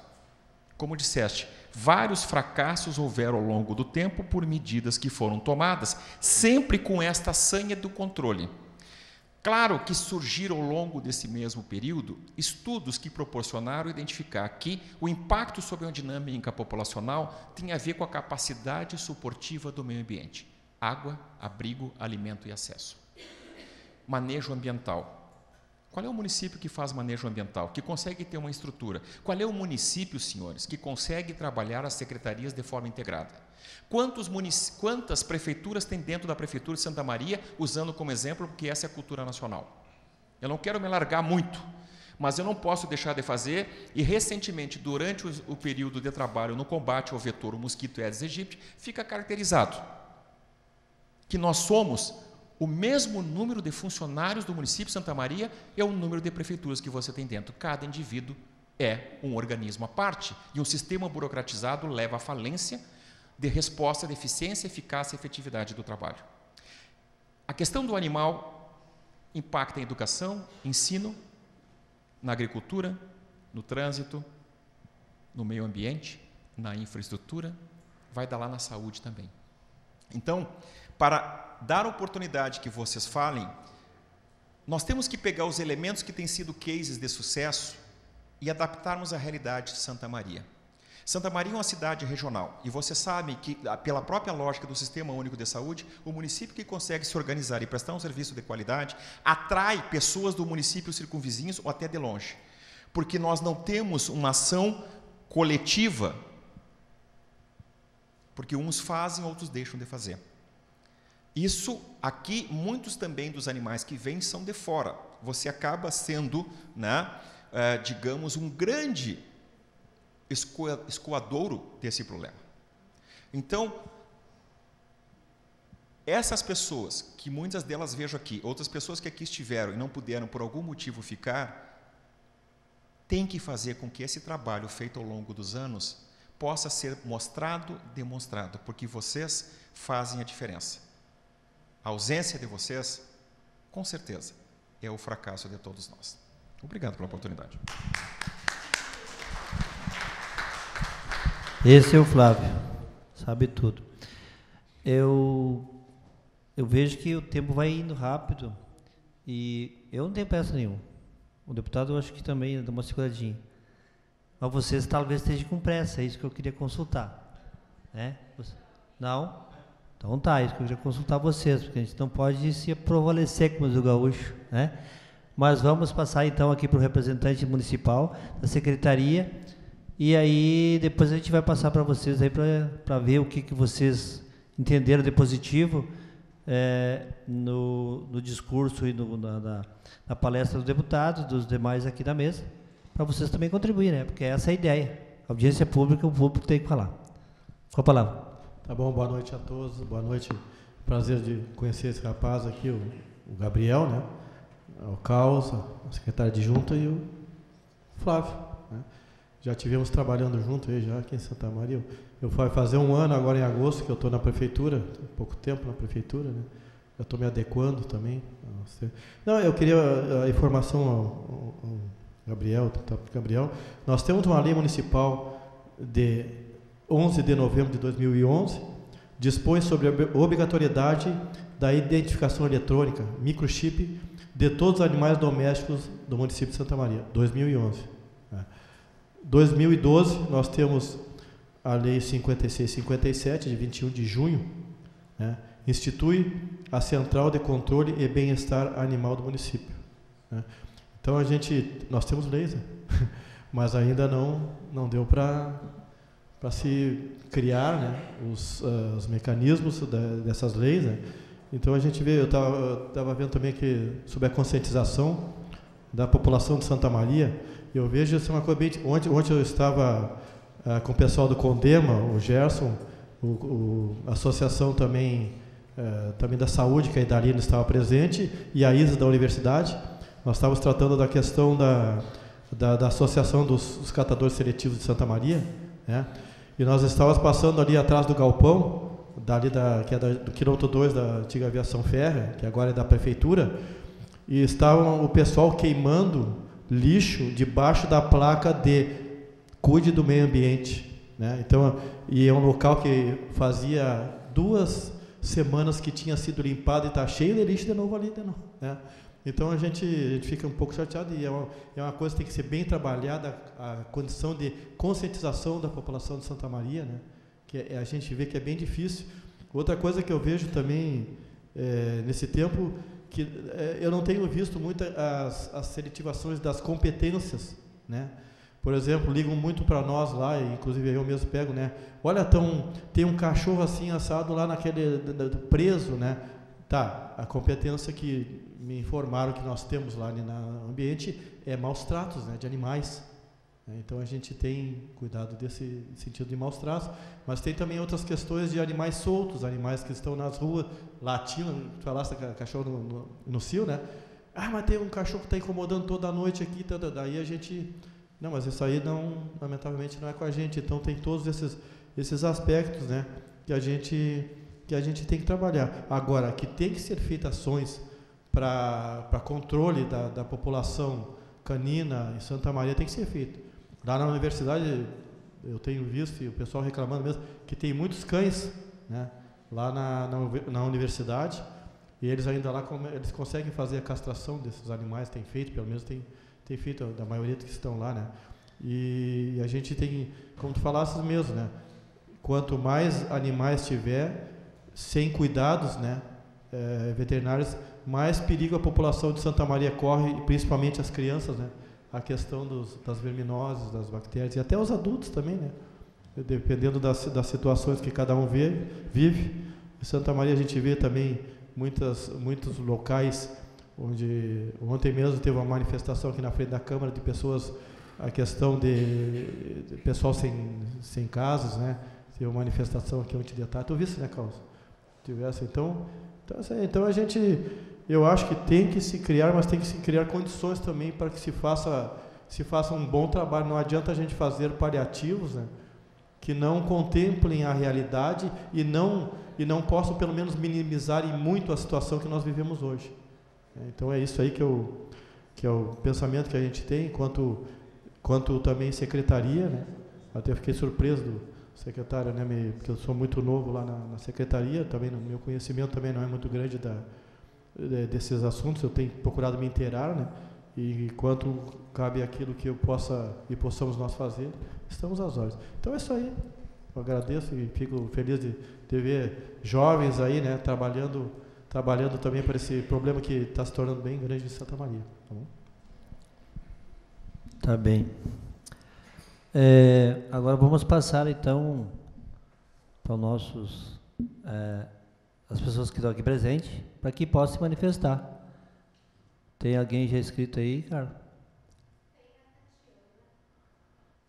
Tu pode passar aqui no microfone, ó, que aqui fica bem tranquilo. Aqui não tem o telefone sem fio. Pode passar aqui na frente aqui. E tu pode dizer o teu nome e, e a quem tu representa aí, enfim. Fica à vontade. Diz o deputado que passa uns três minutos, mas se passar não tem problema. Fica à vontade. Tá, o meu nome é Tatiana Sarturi, eu não represento nenhuma entidade, eu sou voluntária da proteção animal independente. Uh, eu vi aqui o pessoal pinta, pintando o cenário da Santa Maria e, na minha opinião, que coloco a mão na massa, né, que participo do, do trabalho, não só resgatando animais, mas uh, vindo aqui na audiência, participando de feira de adoções, fazendo intercâmbio com outros voluntários, eu acho que Santa Maria não está assim tão mal assim. Uh, é consenso entre as protetoras que aqui a gente não quer canil. Nós já tivemos muitas manifestações, nós somos uh, bem unidas, todos os grupos, aqui tem diversas ONGs, diversos grupos, e é consenso, nós não queremos canil. Nem canil municipal e nem canil terceirizado com ONG. Tá? Porque uh, a gente tem um exemplo lá de Caxia da Soama, que não funciona. Aquilo lá é uma bomba do meio ambiente. Então, a gente não quer bem tranquilo. Inclusive, quando a Universidade Federal de Santa Maria acenou para fazer um canil. Agora, faz, isso faz pouco, pouco tempo, a gente foi lá, foi contra, o reitor nos abriu as portas, conversamos e foi instituído o cão comunitário. Aqui a gente tem cão comunitário, o centro tem vários animais, mas eles são todos castrados, são todos desverminados, tem protetoras que cuidam. Lógico, se alimenta, se os cães. Tem a dona Vera, que leva ração, que leva água, e, infelizmente, a gente não pode se negar de dar um alimento para o animal. Eu, no meu carro, tenho ração, pote d'água e tem outras coisas que cada vez que eu encontro um animal. Ah, sobre as castrações, a gente, eu não dou animal sem castrar e aqui em Santa Maria é regra. É, a maioria das protetoras castra os animais, castra machos, fêmeas, adultos e filhotes. E se alguma protetora não castra, é porque haja dinheiro para tudo isso. Né? Porque aqui nós somos. Uh, nós é que temos que angariar os nossos próprios fundos. Fizemos rifas, fizemos brechó, fizemos vaquinha com os amigos. Então, Santa Maria é uma cidade que tem até pouco, pouco animal na rua. Às vezes tem muito mais animal sofrimento nas vilas. Então, daí tem bastante. Claro que tu sempre vai ter aquela pessoa que não gosta de animal, que não gosta do cachorro. Aí ela vai dizer que o cachorro morde, que o cachorro agride, mas o animal comunitário, o animal que está ali, que ele se, acaren se acarenciou naquele lugar, ele geralmente, ele geralmente é manso, ele não vai atacar as pessoas. Vai atacar o motoqueiro, aquele animal que foi largado hoje, lá no meu bairro, aqui no centro. Né? Então, o que eu queria também, assim, o que eu acho que é problemático e o que eu gostaria de ver mudar. Eu gostei bastante que o deputado falou que estão consolidando e vão regulamentar a lei, porque a gente tem lei, mas não tem um regulamento, aí a lei não funciona. Então, fiquei bem, bem feliz de ver sobre a microchipagem. Também tinha uma dúvida se o animal que sai do pet shop, ele sai microchipado já também para vender, né? Porque uma das coisas é assim, ó, a gente tem pessoas vendendo cachorro, vendendo gato, vendendo animal de raça, estão faturando, não estão pagando imposto, estão jogando para cima né, entre aspas, da população, porque a população cobra o Estado, tão, e estão lucrando e tão, não pagam imposto ainda gera um problema. E, claro, né, a gente sempre vê ali os quatro pilares que o deputado falou, isso aí a gente já trabalha, e, e trabalhar bastante com a educação, porque aqui em Santa Maria ainda não é dos, dos piores lugares. Eu estava olhando aqui, eu conheço bastante veterinários, né, porque a gente está sempre enchendo o saco dos veterinários, uh, né, quer castrar, quer desconto, incomoda. Aqui tinha três ou quatro veterinários que eu tenho certeza que eles, só entre os três ou quatro que estavam aqui, castram mais de mil animais por, me por mês.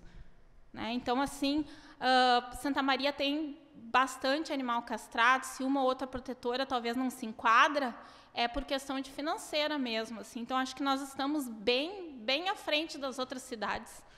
Obrigado, Tatiane. É, a Rose, médica veterinária, também solicitou a palavra. Aí. Vamos tentar dar uma resumida aí para o pessoal, para depois o deputado comentar em cima das, dos comentários de vocês, das observações. Fica à tá vontade. Tá Boa noite a todos vocês.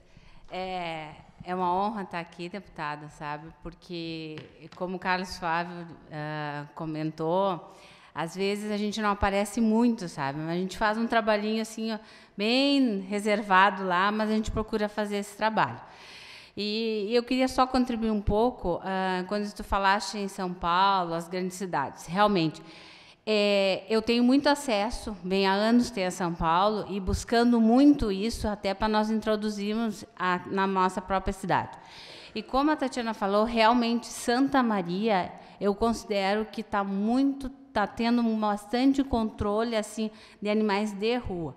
Porque a gente tem conversado com outros colegas que trabalham com, a, com essa área e realmente para a cidade que é Santa Maria, uma cidade de interior, uh, não se vê muito, não se vê. Eu mesmo resido num bairro que é bem interior, que é Vira Caramelo lá, é faixa, a gente não vê tantos animais acidentados, não. Como a Tatiana também falou, as protetoras realmente estão castrando, sabe? Tem um controle, existe, existe um controle dentro da, da população que nós temos aqui em Santa Maria. Eu considero realmente uma cidade assim, que já, já existe um controle. Né? Não tanto adequado, né? mas uh, em relação às outras cidades, eu considero, eu como veterinária, considero. Uma das coisas que eu queria salientar bastante, que eu achei bem interessante, é essa, esse trabalho com as crianças nas escolas. Eu busquei várias vezes uma escola municipal, tive esse retorno. A gente tem um cachorrinho comunitário lá, a direção da escola permite, foi castrado, é orientado por mim. E as crianças realmente uh, se interessam por isso. E esse trabalho, realmente, eu acho que nós estamos precisando de Santa Maria, dentro da educação. Ah, no município, de repente a gente trabalhar aí, ver o que, que a gente pode fazer. E da minha parte, como médico veterinária, estou sendo voluntária a trabalhar realmente com as escolas, com a educação, até porque a gente tem uma ligação no bairro com as cidades pequenas, a gente pode começar a fazer um trabalho ali na comunidade, dá para fazer. E uma coisa que me entristece hoje, deputado, é ver poucos colegas aqui na sala, né? Realmente é uma coisa que, que a nossa classe é muito, sabe, muito uh, dá para ver em todo em geral, né? Uh, eu me entristece bastante, sabe? Eu acho que nós não precisar estar tá sempre todo mundo junto, mas nesse momento hoje, acho que poucas vezes as pessoas, poucos me conhecem aqui, mas eu achei muito importante muito importante. E isso me entristece bastante. Nós temos uma federal aqui também, nós poderíamos ter estudante aqui e nós não temos. Né? Então, é uma das coisas que eu sinto bastante, sabe, deputado? É isso aí. E essa, essa aproximação de nossos colegas junto também aos estudantes da universidade, para nós fazermos também um trabalho em conjunto. Né? É uma das coisas. Então, rapidamente, eu queria fazer uma colocação assim, participando, né, porque temos poucas pessoas aqui, mas eu acho que todos nós poderíamos contribuir um pouquinho da, da, do que a gente tem para a comunidade de Santa Maria. Meu muito obrigado, uma boa noite a todos. Obrigado, Rose.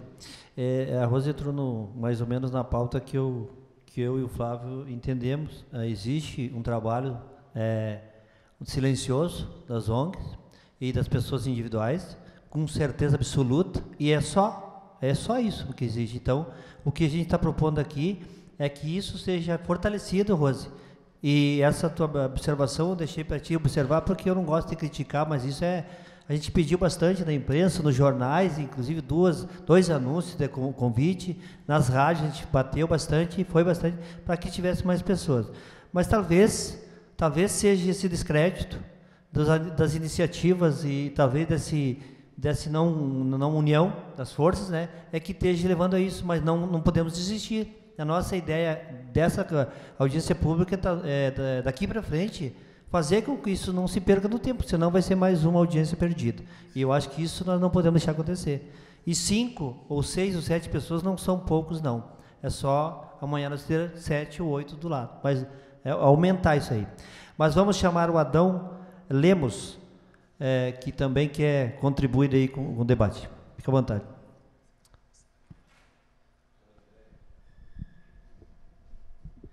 É, boa noite ao deputado Gabriel Souza.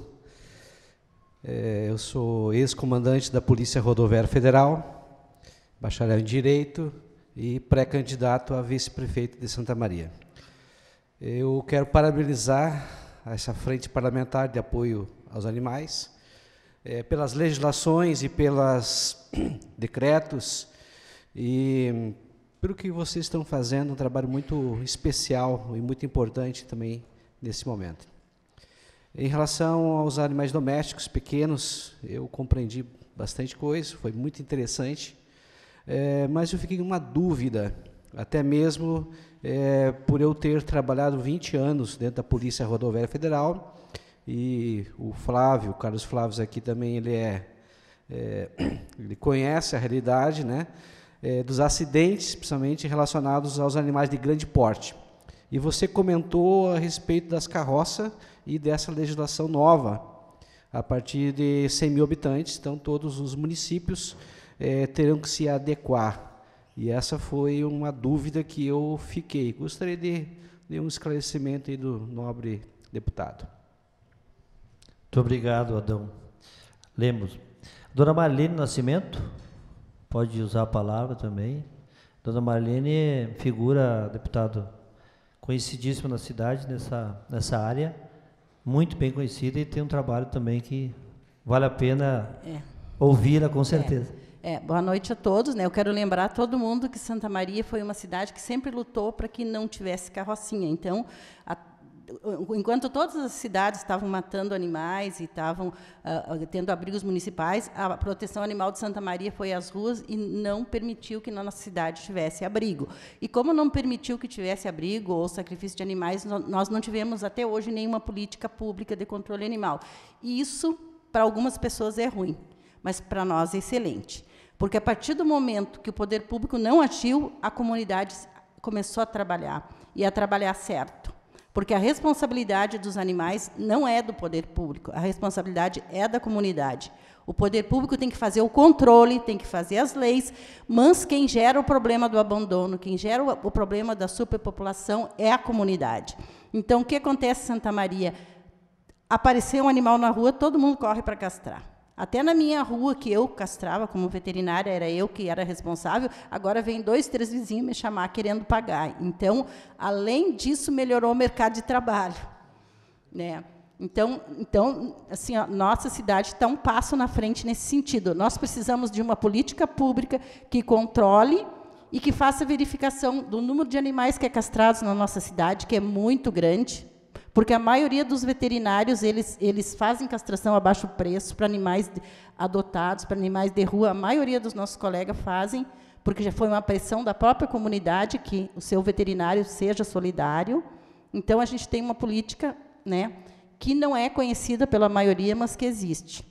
Tá? Outra coisa, há muito tempo já descobri também que castração não resolve o problema, porque a gente se juntava com as colegas, nós chegava a castrar 30, 40 cachorros por dia nós nem almoçava. Então, o nosso sonho era, em cinco anos, resolver o problema de Santa Maria.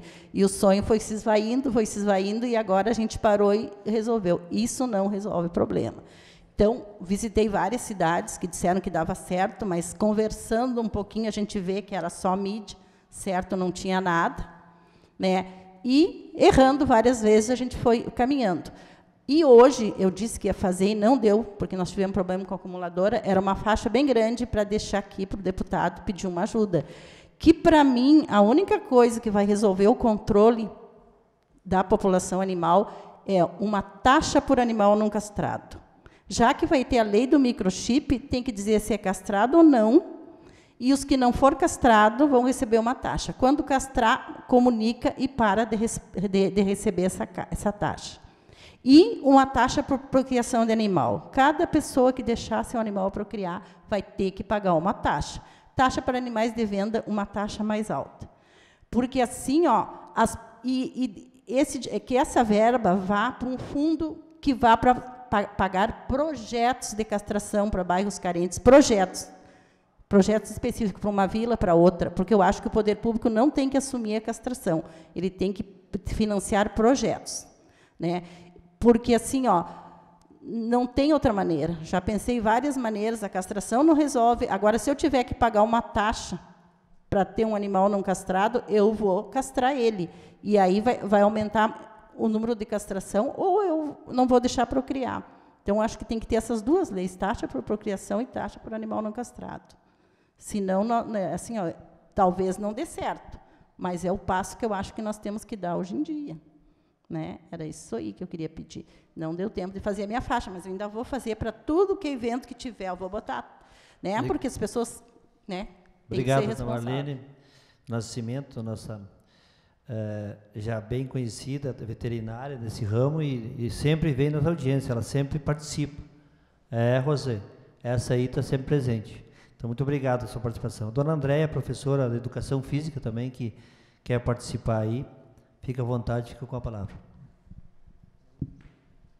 E é a última inscrita. Depois vamos, vamos ter que fechar aí, porque o, deputado tem que viajar também, né, deputado? E tem que responder esse pessoal aqui. Fica Boa noite a todos e a todas. É só para comunicar que a gente teve a, a, a, gente elaborou um evento na cidade juntamente com a prefeitura, que foi a primeira caminhada de Santa Maria. E foi excelente assim, ó. A gente conseguiu doar vários cães lá do lar da Dona Eloá. A Dona Eloá é uma senhora, juntamente com o esposo dela. Eles possuem 70 cães e 45 gatos. E o evento assim em Santa Maria foi muito bom porque a gente conseguiu que o pessoal doasse bastante ração lá para ajudar, né, o lar, e foi, foram adotados. Então a gente aguarda que o ano que vem tenha mais apoio da prefeitura também novamente para conseguir Aonde doar foi? mais.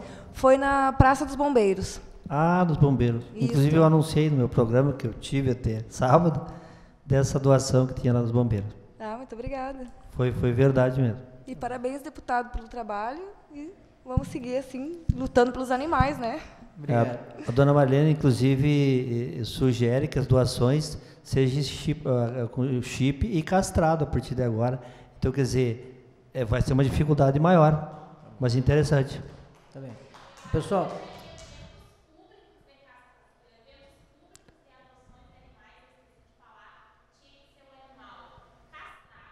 É.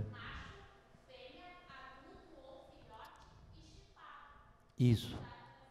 É mais uma.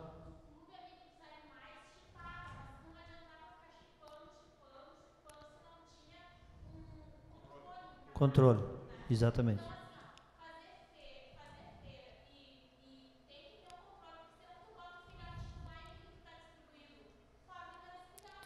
É, e, o, e o comércio também, como ele falou ali, o comércio também. O comércio também.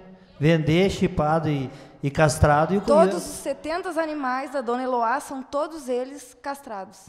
Todos. Bem. E a gente vai lutar para ver se consegue chipar. Então está por aí um caminho. Mas é verificado o ambiente antes do animal ser doado, é a visitação na casa para ver se a pessoa realmente tem condições de ter esse animal lá e manter esse animal, porque não adianta, né, pegar ir lá adotar e não ter condições de pagar um remédio, alguma coisa para acompanhar depois esse animal. Então tem, tem esse acompanhamento depois do Para quem está né? doando também. Sim, sim.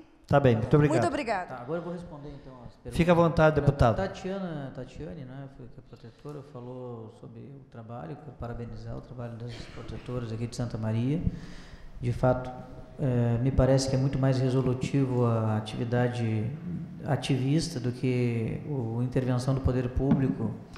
E concordo com a doutora Marlene no sentido de que acho que entre, a, entre as opções de contratar diretamente pela administração pública clínicas para castrações, eu também prefiro a parceria com entidades da sociedade, com organizações não governamentais que são ativi do ativismo que possam eh, elas fazer as castrações ao invés do poder público. É, a doutora Rose, minha colega veterinária, falou da nossa categoria. Você sabe, doutora Rose, que na, nessas audiências, né, a sétima que a gente faz, é, primeiro que eh, há um interesse muito grande da sociedade, da comunidade, assim, que, pelo assunto. Né? Mas aqui até me surpreendeu o número de veterinários presentes, porque eu acho que foi cinco que eu encontrei aqui, dois, quatro, cinco, seis, né? comigo seis, né? cinco então, né?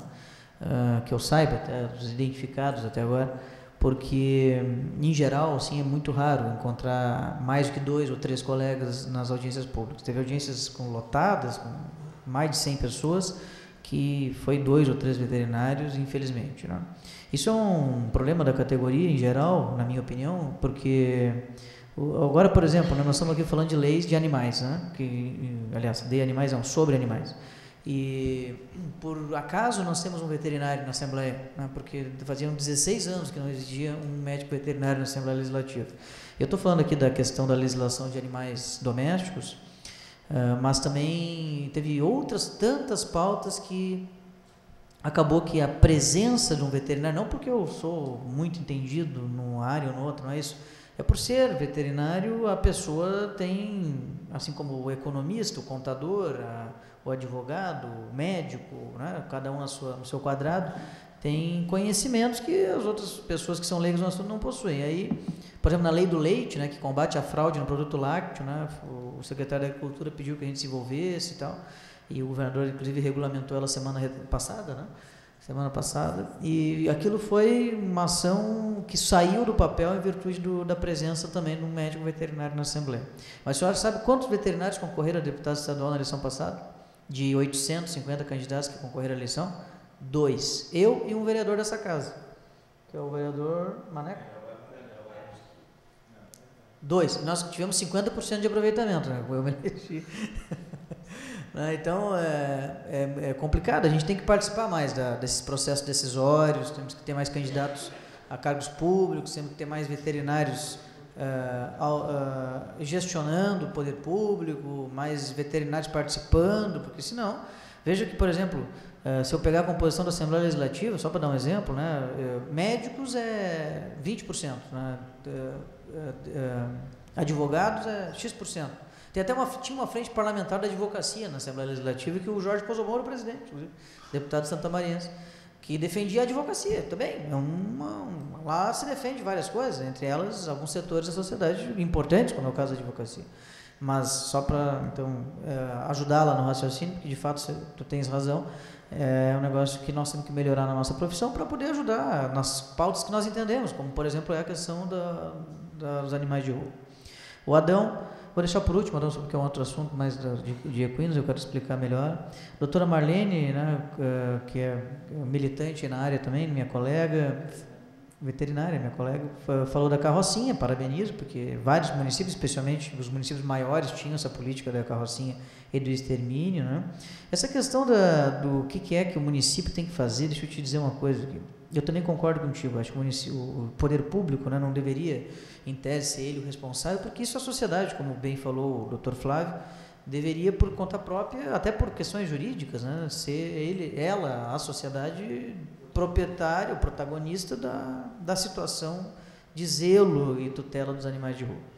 Existe algumas jurisprudências já que já consolidaram-se que quando há o limbo de que não se sabe quem que vai atuar, atua o município. Né? Então, isso decisões judiciais, já, o Ministério Público atua muito nessa área. É por isso que, como está meio que sobrando né, para o município, até porque o brasileiro, o doutor Flávio falou um negócio que é verdadeiro, o brasileiro tem uma cultura né, de dizer o seguinte: o Estado é paternalista, então o Estado me é, vai fazer por mim, entende? Um negócio mais ou menos assim.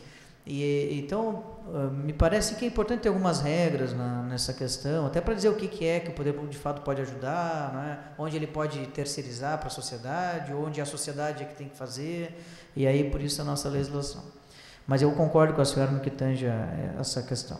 Sobre as taxas, é uma ideia que nós já temos, do fundo, né? Eu não posso legislar porque são por questões constitucionais em, em, questões financeiras do Estado. Eu não posso criar um fundo, por exemplo, através de uma lei minha de deputado estadual. Eu posso até fazer a lei, protocolar, tramitar, faço aprovar, mesmo passando na Comissão de Constituição e Justiça, que é a comissão que filtra isso, lá na Assembleia ou em qualquer parlamento, que deve ter uma CCJ também.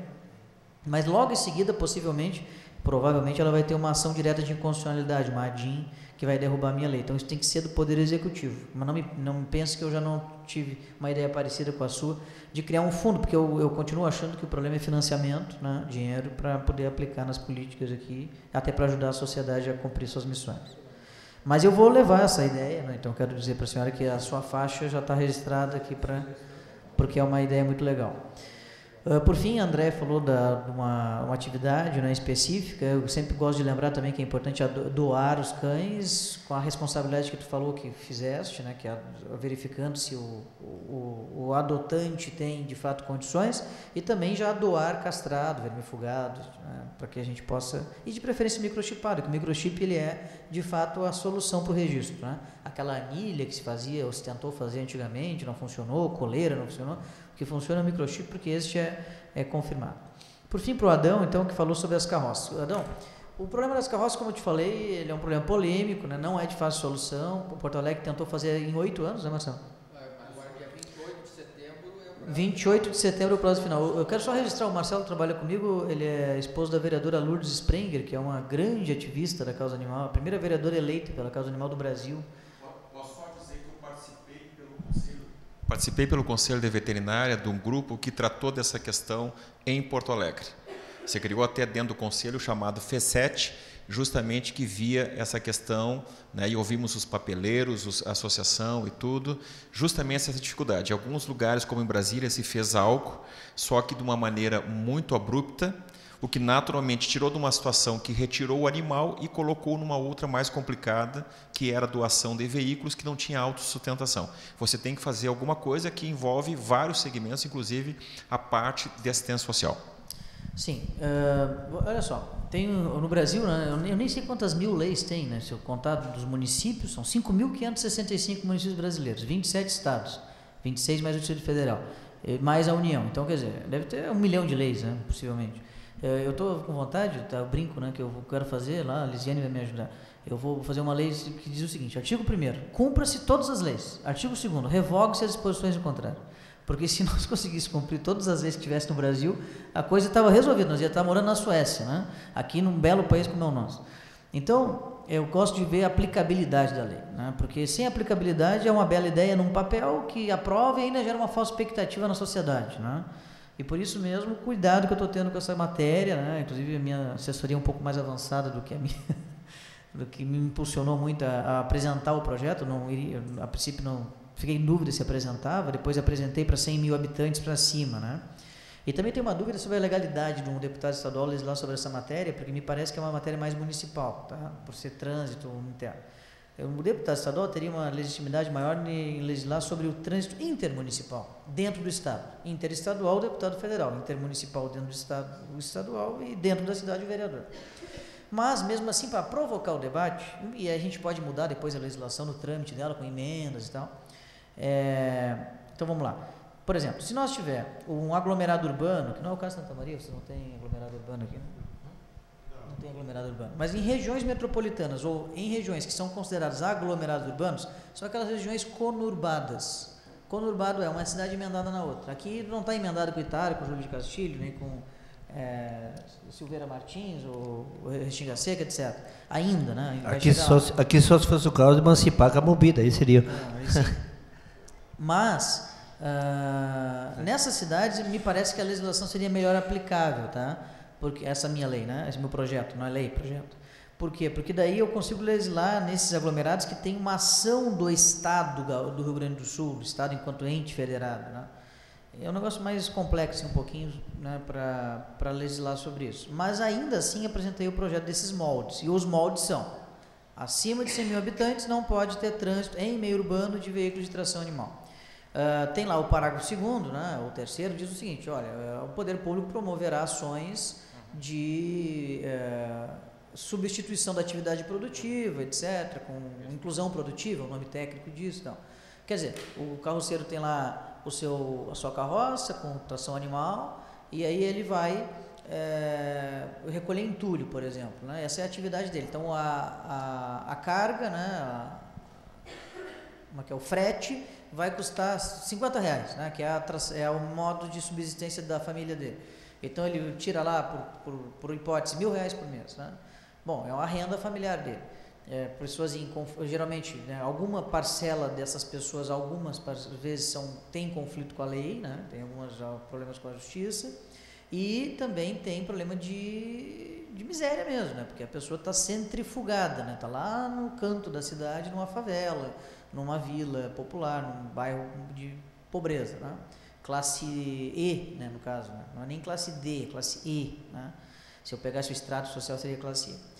Bom, aí é, eu preciso então substituir essa. Até porque é o seguinte: se eu tiro o cavalo da pessoa do jeito abrupto, né, brusco, eu vou colocar ela no crime, vou colocar ela em algum outro lugar que não uma atividade produtiva que gere renda legal para a família dela. Então eu preciso montar um processo, e aí por isso que tem que ir com calma, para a gente tirar ele desse, do veículo de tração animal e colocar numa atividade que, que garanta a renda para sua família de maneira segura, que é o que Porto Alegre não conseguiu fazer. Porto Alegre não teve sucesso nessa legislação municipal, que foi de um vereador chamado Sebastião Melo, certo? E o assessor dele, na época, está aqui sentado conosco, que ajudou a montar a lei, que é, botou um prazo de oito anos, se não me engano, 27 de setembro, 28 de setembro termina na sua regulamentação, que diz o seguinte, ó, nós temos um período de transição em que o município de Porto Alegre vai oferecer a essas pessoas outras atividades produtivas. O que aconteceu nesses oito anos? Não aconteceu nesses oito anos. Né? As atividades produtivas tentadas não deram resultado e acabou que se tu for a Porto Alegre hoje, eu te desafio a não achar uma carroça. Tu vai achar uma carroça. Né? Inclusive dividiu a cidade por áreas e tal, e não deu certo. Tá? Então é uma complexidade muito grande. Tá? Então, só para te explicar como é que é o nosso projeto. E eu, é, como veterinário, já te disse, né, disse a vocês que tenho recebido é, diversos atendimentos, tenho feito diversos atendimentos, especialmente quando tinha, me dedicava exclusivamente à profissão, uh, de animais equinos com maus tratos severos. Né? Isso é um negócio absurdo. Tá? E a gente lamenta muito por isso. Então, a minha tentativa de colaborar seria nesse sentido, e aí tem que debater, tem que fazer audiência pública, tem que chamar os caras que entendem sobre questão social, né, que não é o meu caso especificamente, vai ter que chamar o pessoal uh, dessas cidades para vir conversar conosco, né, vamos ter que discutir melhor, e vamos ter que ver também a questão da legalidade. Mas acho que é um debate que a lei, o projeto de lei suscita. Nós, por exemplo, estamos falando dela agora. Né? Se não tivesse esse projeto de lei, nós não estaríamos falando de equinos de tração animal, né, de, utilizados como tração animal em meio urbano. Tem a questão da ferradura, né, cavalos ferrados, não ferrados, o, o pavimento não é o ideal para equino andar. Tem a questão da, do resíduo orgânico que o equino deixa na cidade, né, que são as fezes. Ah, tem um monte de coisa para falar que a lei vai suscitar. Eu, como estou, junto com o, o, fato de estar deputado né, estadual, eu acabei assumindo outras tarefas no parlamento, entre elas a liderança do governo do estado no, na casa. E o que me toma um tempo que vocês não têm noção, é um negócio impressionante. Então, ontem nós votamos a LDO e tal do Estado, fui relator da lei e tal. Então, inclusive, essa audiência pública, o meu querido amigo João falou: olha, devia ter acontecido há dois, três meses atrás. Né? Então, eu estou tentando tratar os assuntos com bastante zelo e por isso esse assunto não está assim, não, no, a baila, no sentido que está as outras ações que eu consigo uh, ter condições de conversar. O dia que tiver maturado para votar, nós iremos levar a plenária, daí votaremos. Aí. E, e, e, no teu caso, né, que foi policial rodoviário federal, imagina a quantidade de casos que tu pegou de atropelamento por equinos, e gente telefonando, tem um equino solto na via e tal. E por isso percebo o teu interesse na matéria. Não sei se consegui explicar. Gente, eu quero agradecer a todos vocês. Eu estou indo agora, nesse momento, a Porto Alegre novamente. Amanhã, às 9, 10 horas da manhã, o governador vai anunciar o plano de segurança pública, vai ter contratação de policiais militares, policiais civis, finalmente. vai ter disponibilidade de horas extra, mais hora extra, vai ter para policiais, já teve duas mil promoções para policiais civis e militares, vai ter novo concurso público para a SUSEP, para o IGP, vai ter um monte de coisa que o governador vai anunciar amanhã com mais detalhes, então eu tenho que estar lá amanhã de cedo, e queria agradecer imensamente a oportunidade que tive a todos vocês, aos telespectadores da TV Câmara, e certamente saio daqui com muito mais uh, acúmulo de informações, de qualidade de informações do que recebi, uh, do que tinha até quando entrei, de maneira que continuo à disposição pelas minhas redes sociais, meu Facebook está à disposição, depois vai estar as fotografias do encontro lá. Eu estou sempre às ordens para a gente poder continuar conversando sobre o tema. Sempre que você tiver alguma sugestão ou ideia que eu possa aplicar, eu certamente incorporarei dentro do meu mandato lá a partir de proposições da Assembleia Legislativa. Também quero, por fim, agradecer o meu querido amigo vereador João Caos, que foi o grande protagonista dessa audiência, porque ele que entrou em contato, ele que foi a Porto Alegre mais de uma vez, me telefonou, me xingou quando eu comecei a, a não dar a data. A né? me enrolar. enrolar. e, e principalmente a, a, organizou a audiência. A audiência foi toda organizada pela sua assessoria, em colaboração com a minha, mas aqui em Santa Maria ele que organizou, a agenda de imprensa, tudo. Então eu queria te agradecer, João Ati, as gurias do teu gabinete, porque certamente sem a tua luta aqui nós não teríamos conseguido fazer a audiência agora. Muito obrigado. Obrigado, deputado. É, nós que agradecemos, porque a gente sabe, a gente tem, a gente brinca e, e cobra, mas a gente sabe as dificuldades, porque a gente que é vereador na cidade e, e é bem menor o espaço físico, o município do que o estado, e assim mesmo a gente não vai nem na metade dos, dos lugares que a gente gostaria de ir. Então a gente tem esse conhecimento que o estado é grande e essa demanda, então, não se fala, né? Ela é mais importante, maior do que muitas outras. Mas eu quero é, dizer, e, e, e, e, o pessoal das ONGs que estão aqui, os profissionais, os médicos, veterinários, teus colegas, que eu acho que a gente vai ter que ficar ligado é, é, com essa, a partir de hoje, para ali no momento ali na frente, quando a gente achar necessário, nós vamos convidar o deputado. O que, é que vocês acham? Ele vem ou não vem em Santa Maria de novo? Vem, né? Então vamos fazer isso aí. Essa, eu, eu costumo trabalhar assim, as gurias às vezes sabem no meu gabinete. Quero agradecer também o pessoal aqui da TV Câmara, enfim, a Câmara de Vereadores, o próprio presidente Forte, que nos é, colocou à disposição toda a infraestrutura, isso é importante, devido também à importância da matéria, nossos assessores, e, mas que a gente não fique nessa audiência, a gente logo aí na frente, os contatos de vocês tem que ficar, é, alguém tem que ficar responsável entre vocês, uma comissão, e nós aqui, junto com a, com a nossa frente parlamentar de vereadores, vamos ficar ligados com a frente parlamentar de, dos deputados, com, através dos deputados, e vamos ficar essa corrente aí. Para o primeiro passo, o primeiro movimento que alguém achar que tem que nos reunir de novo, a gente vai se reunir. Eu acho que essa é a ideia. E agradecer, então, a presença de vocês. É um inverno, é frio, mas vocês estão aí. E a gente também tem aprendido com, a, com os, os mais é, já acostumados com a política e com a vida. A quantidade não significa qualidade. Então, eu acho que hoje pode até não ter muitos, mas qualificados, com certeza. Muito obrigado.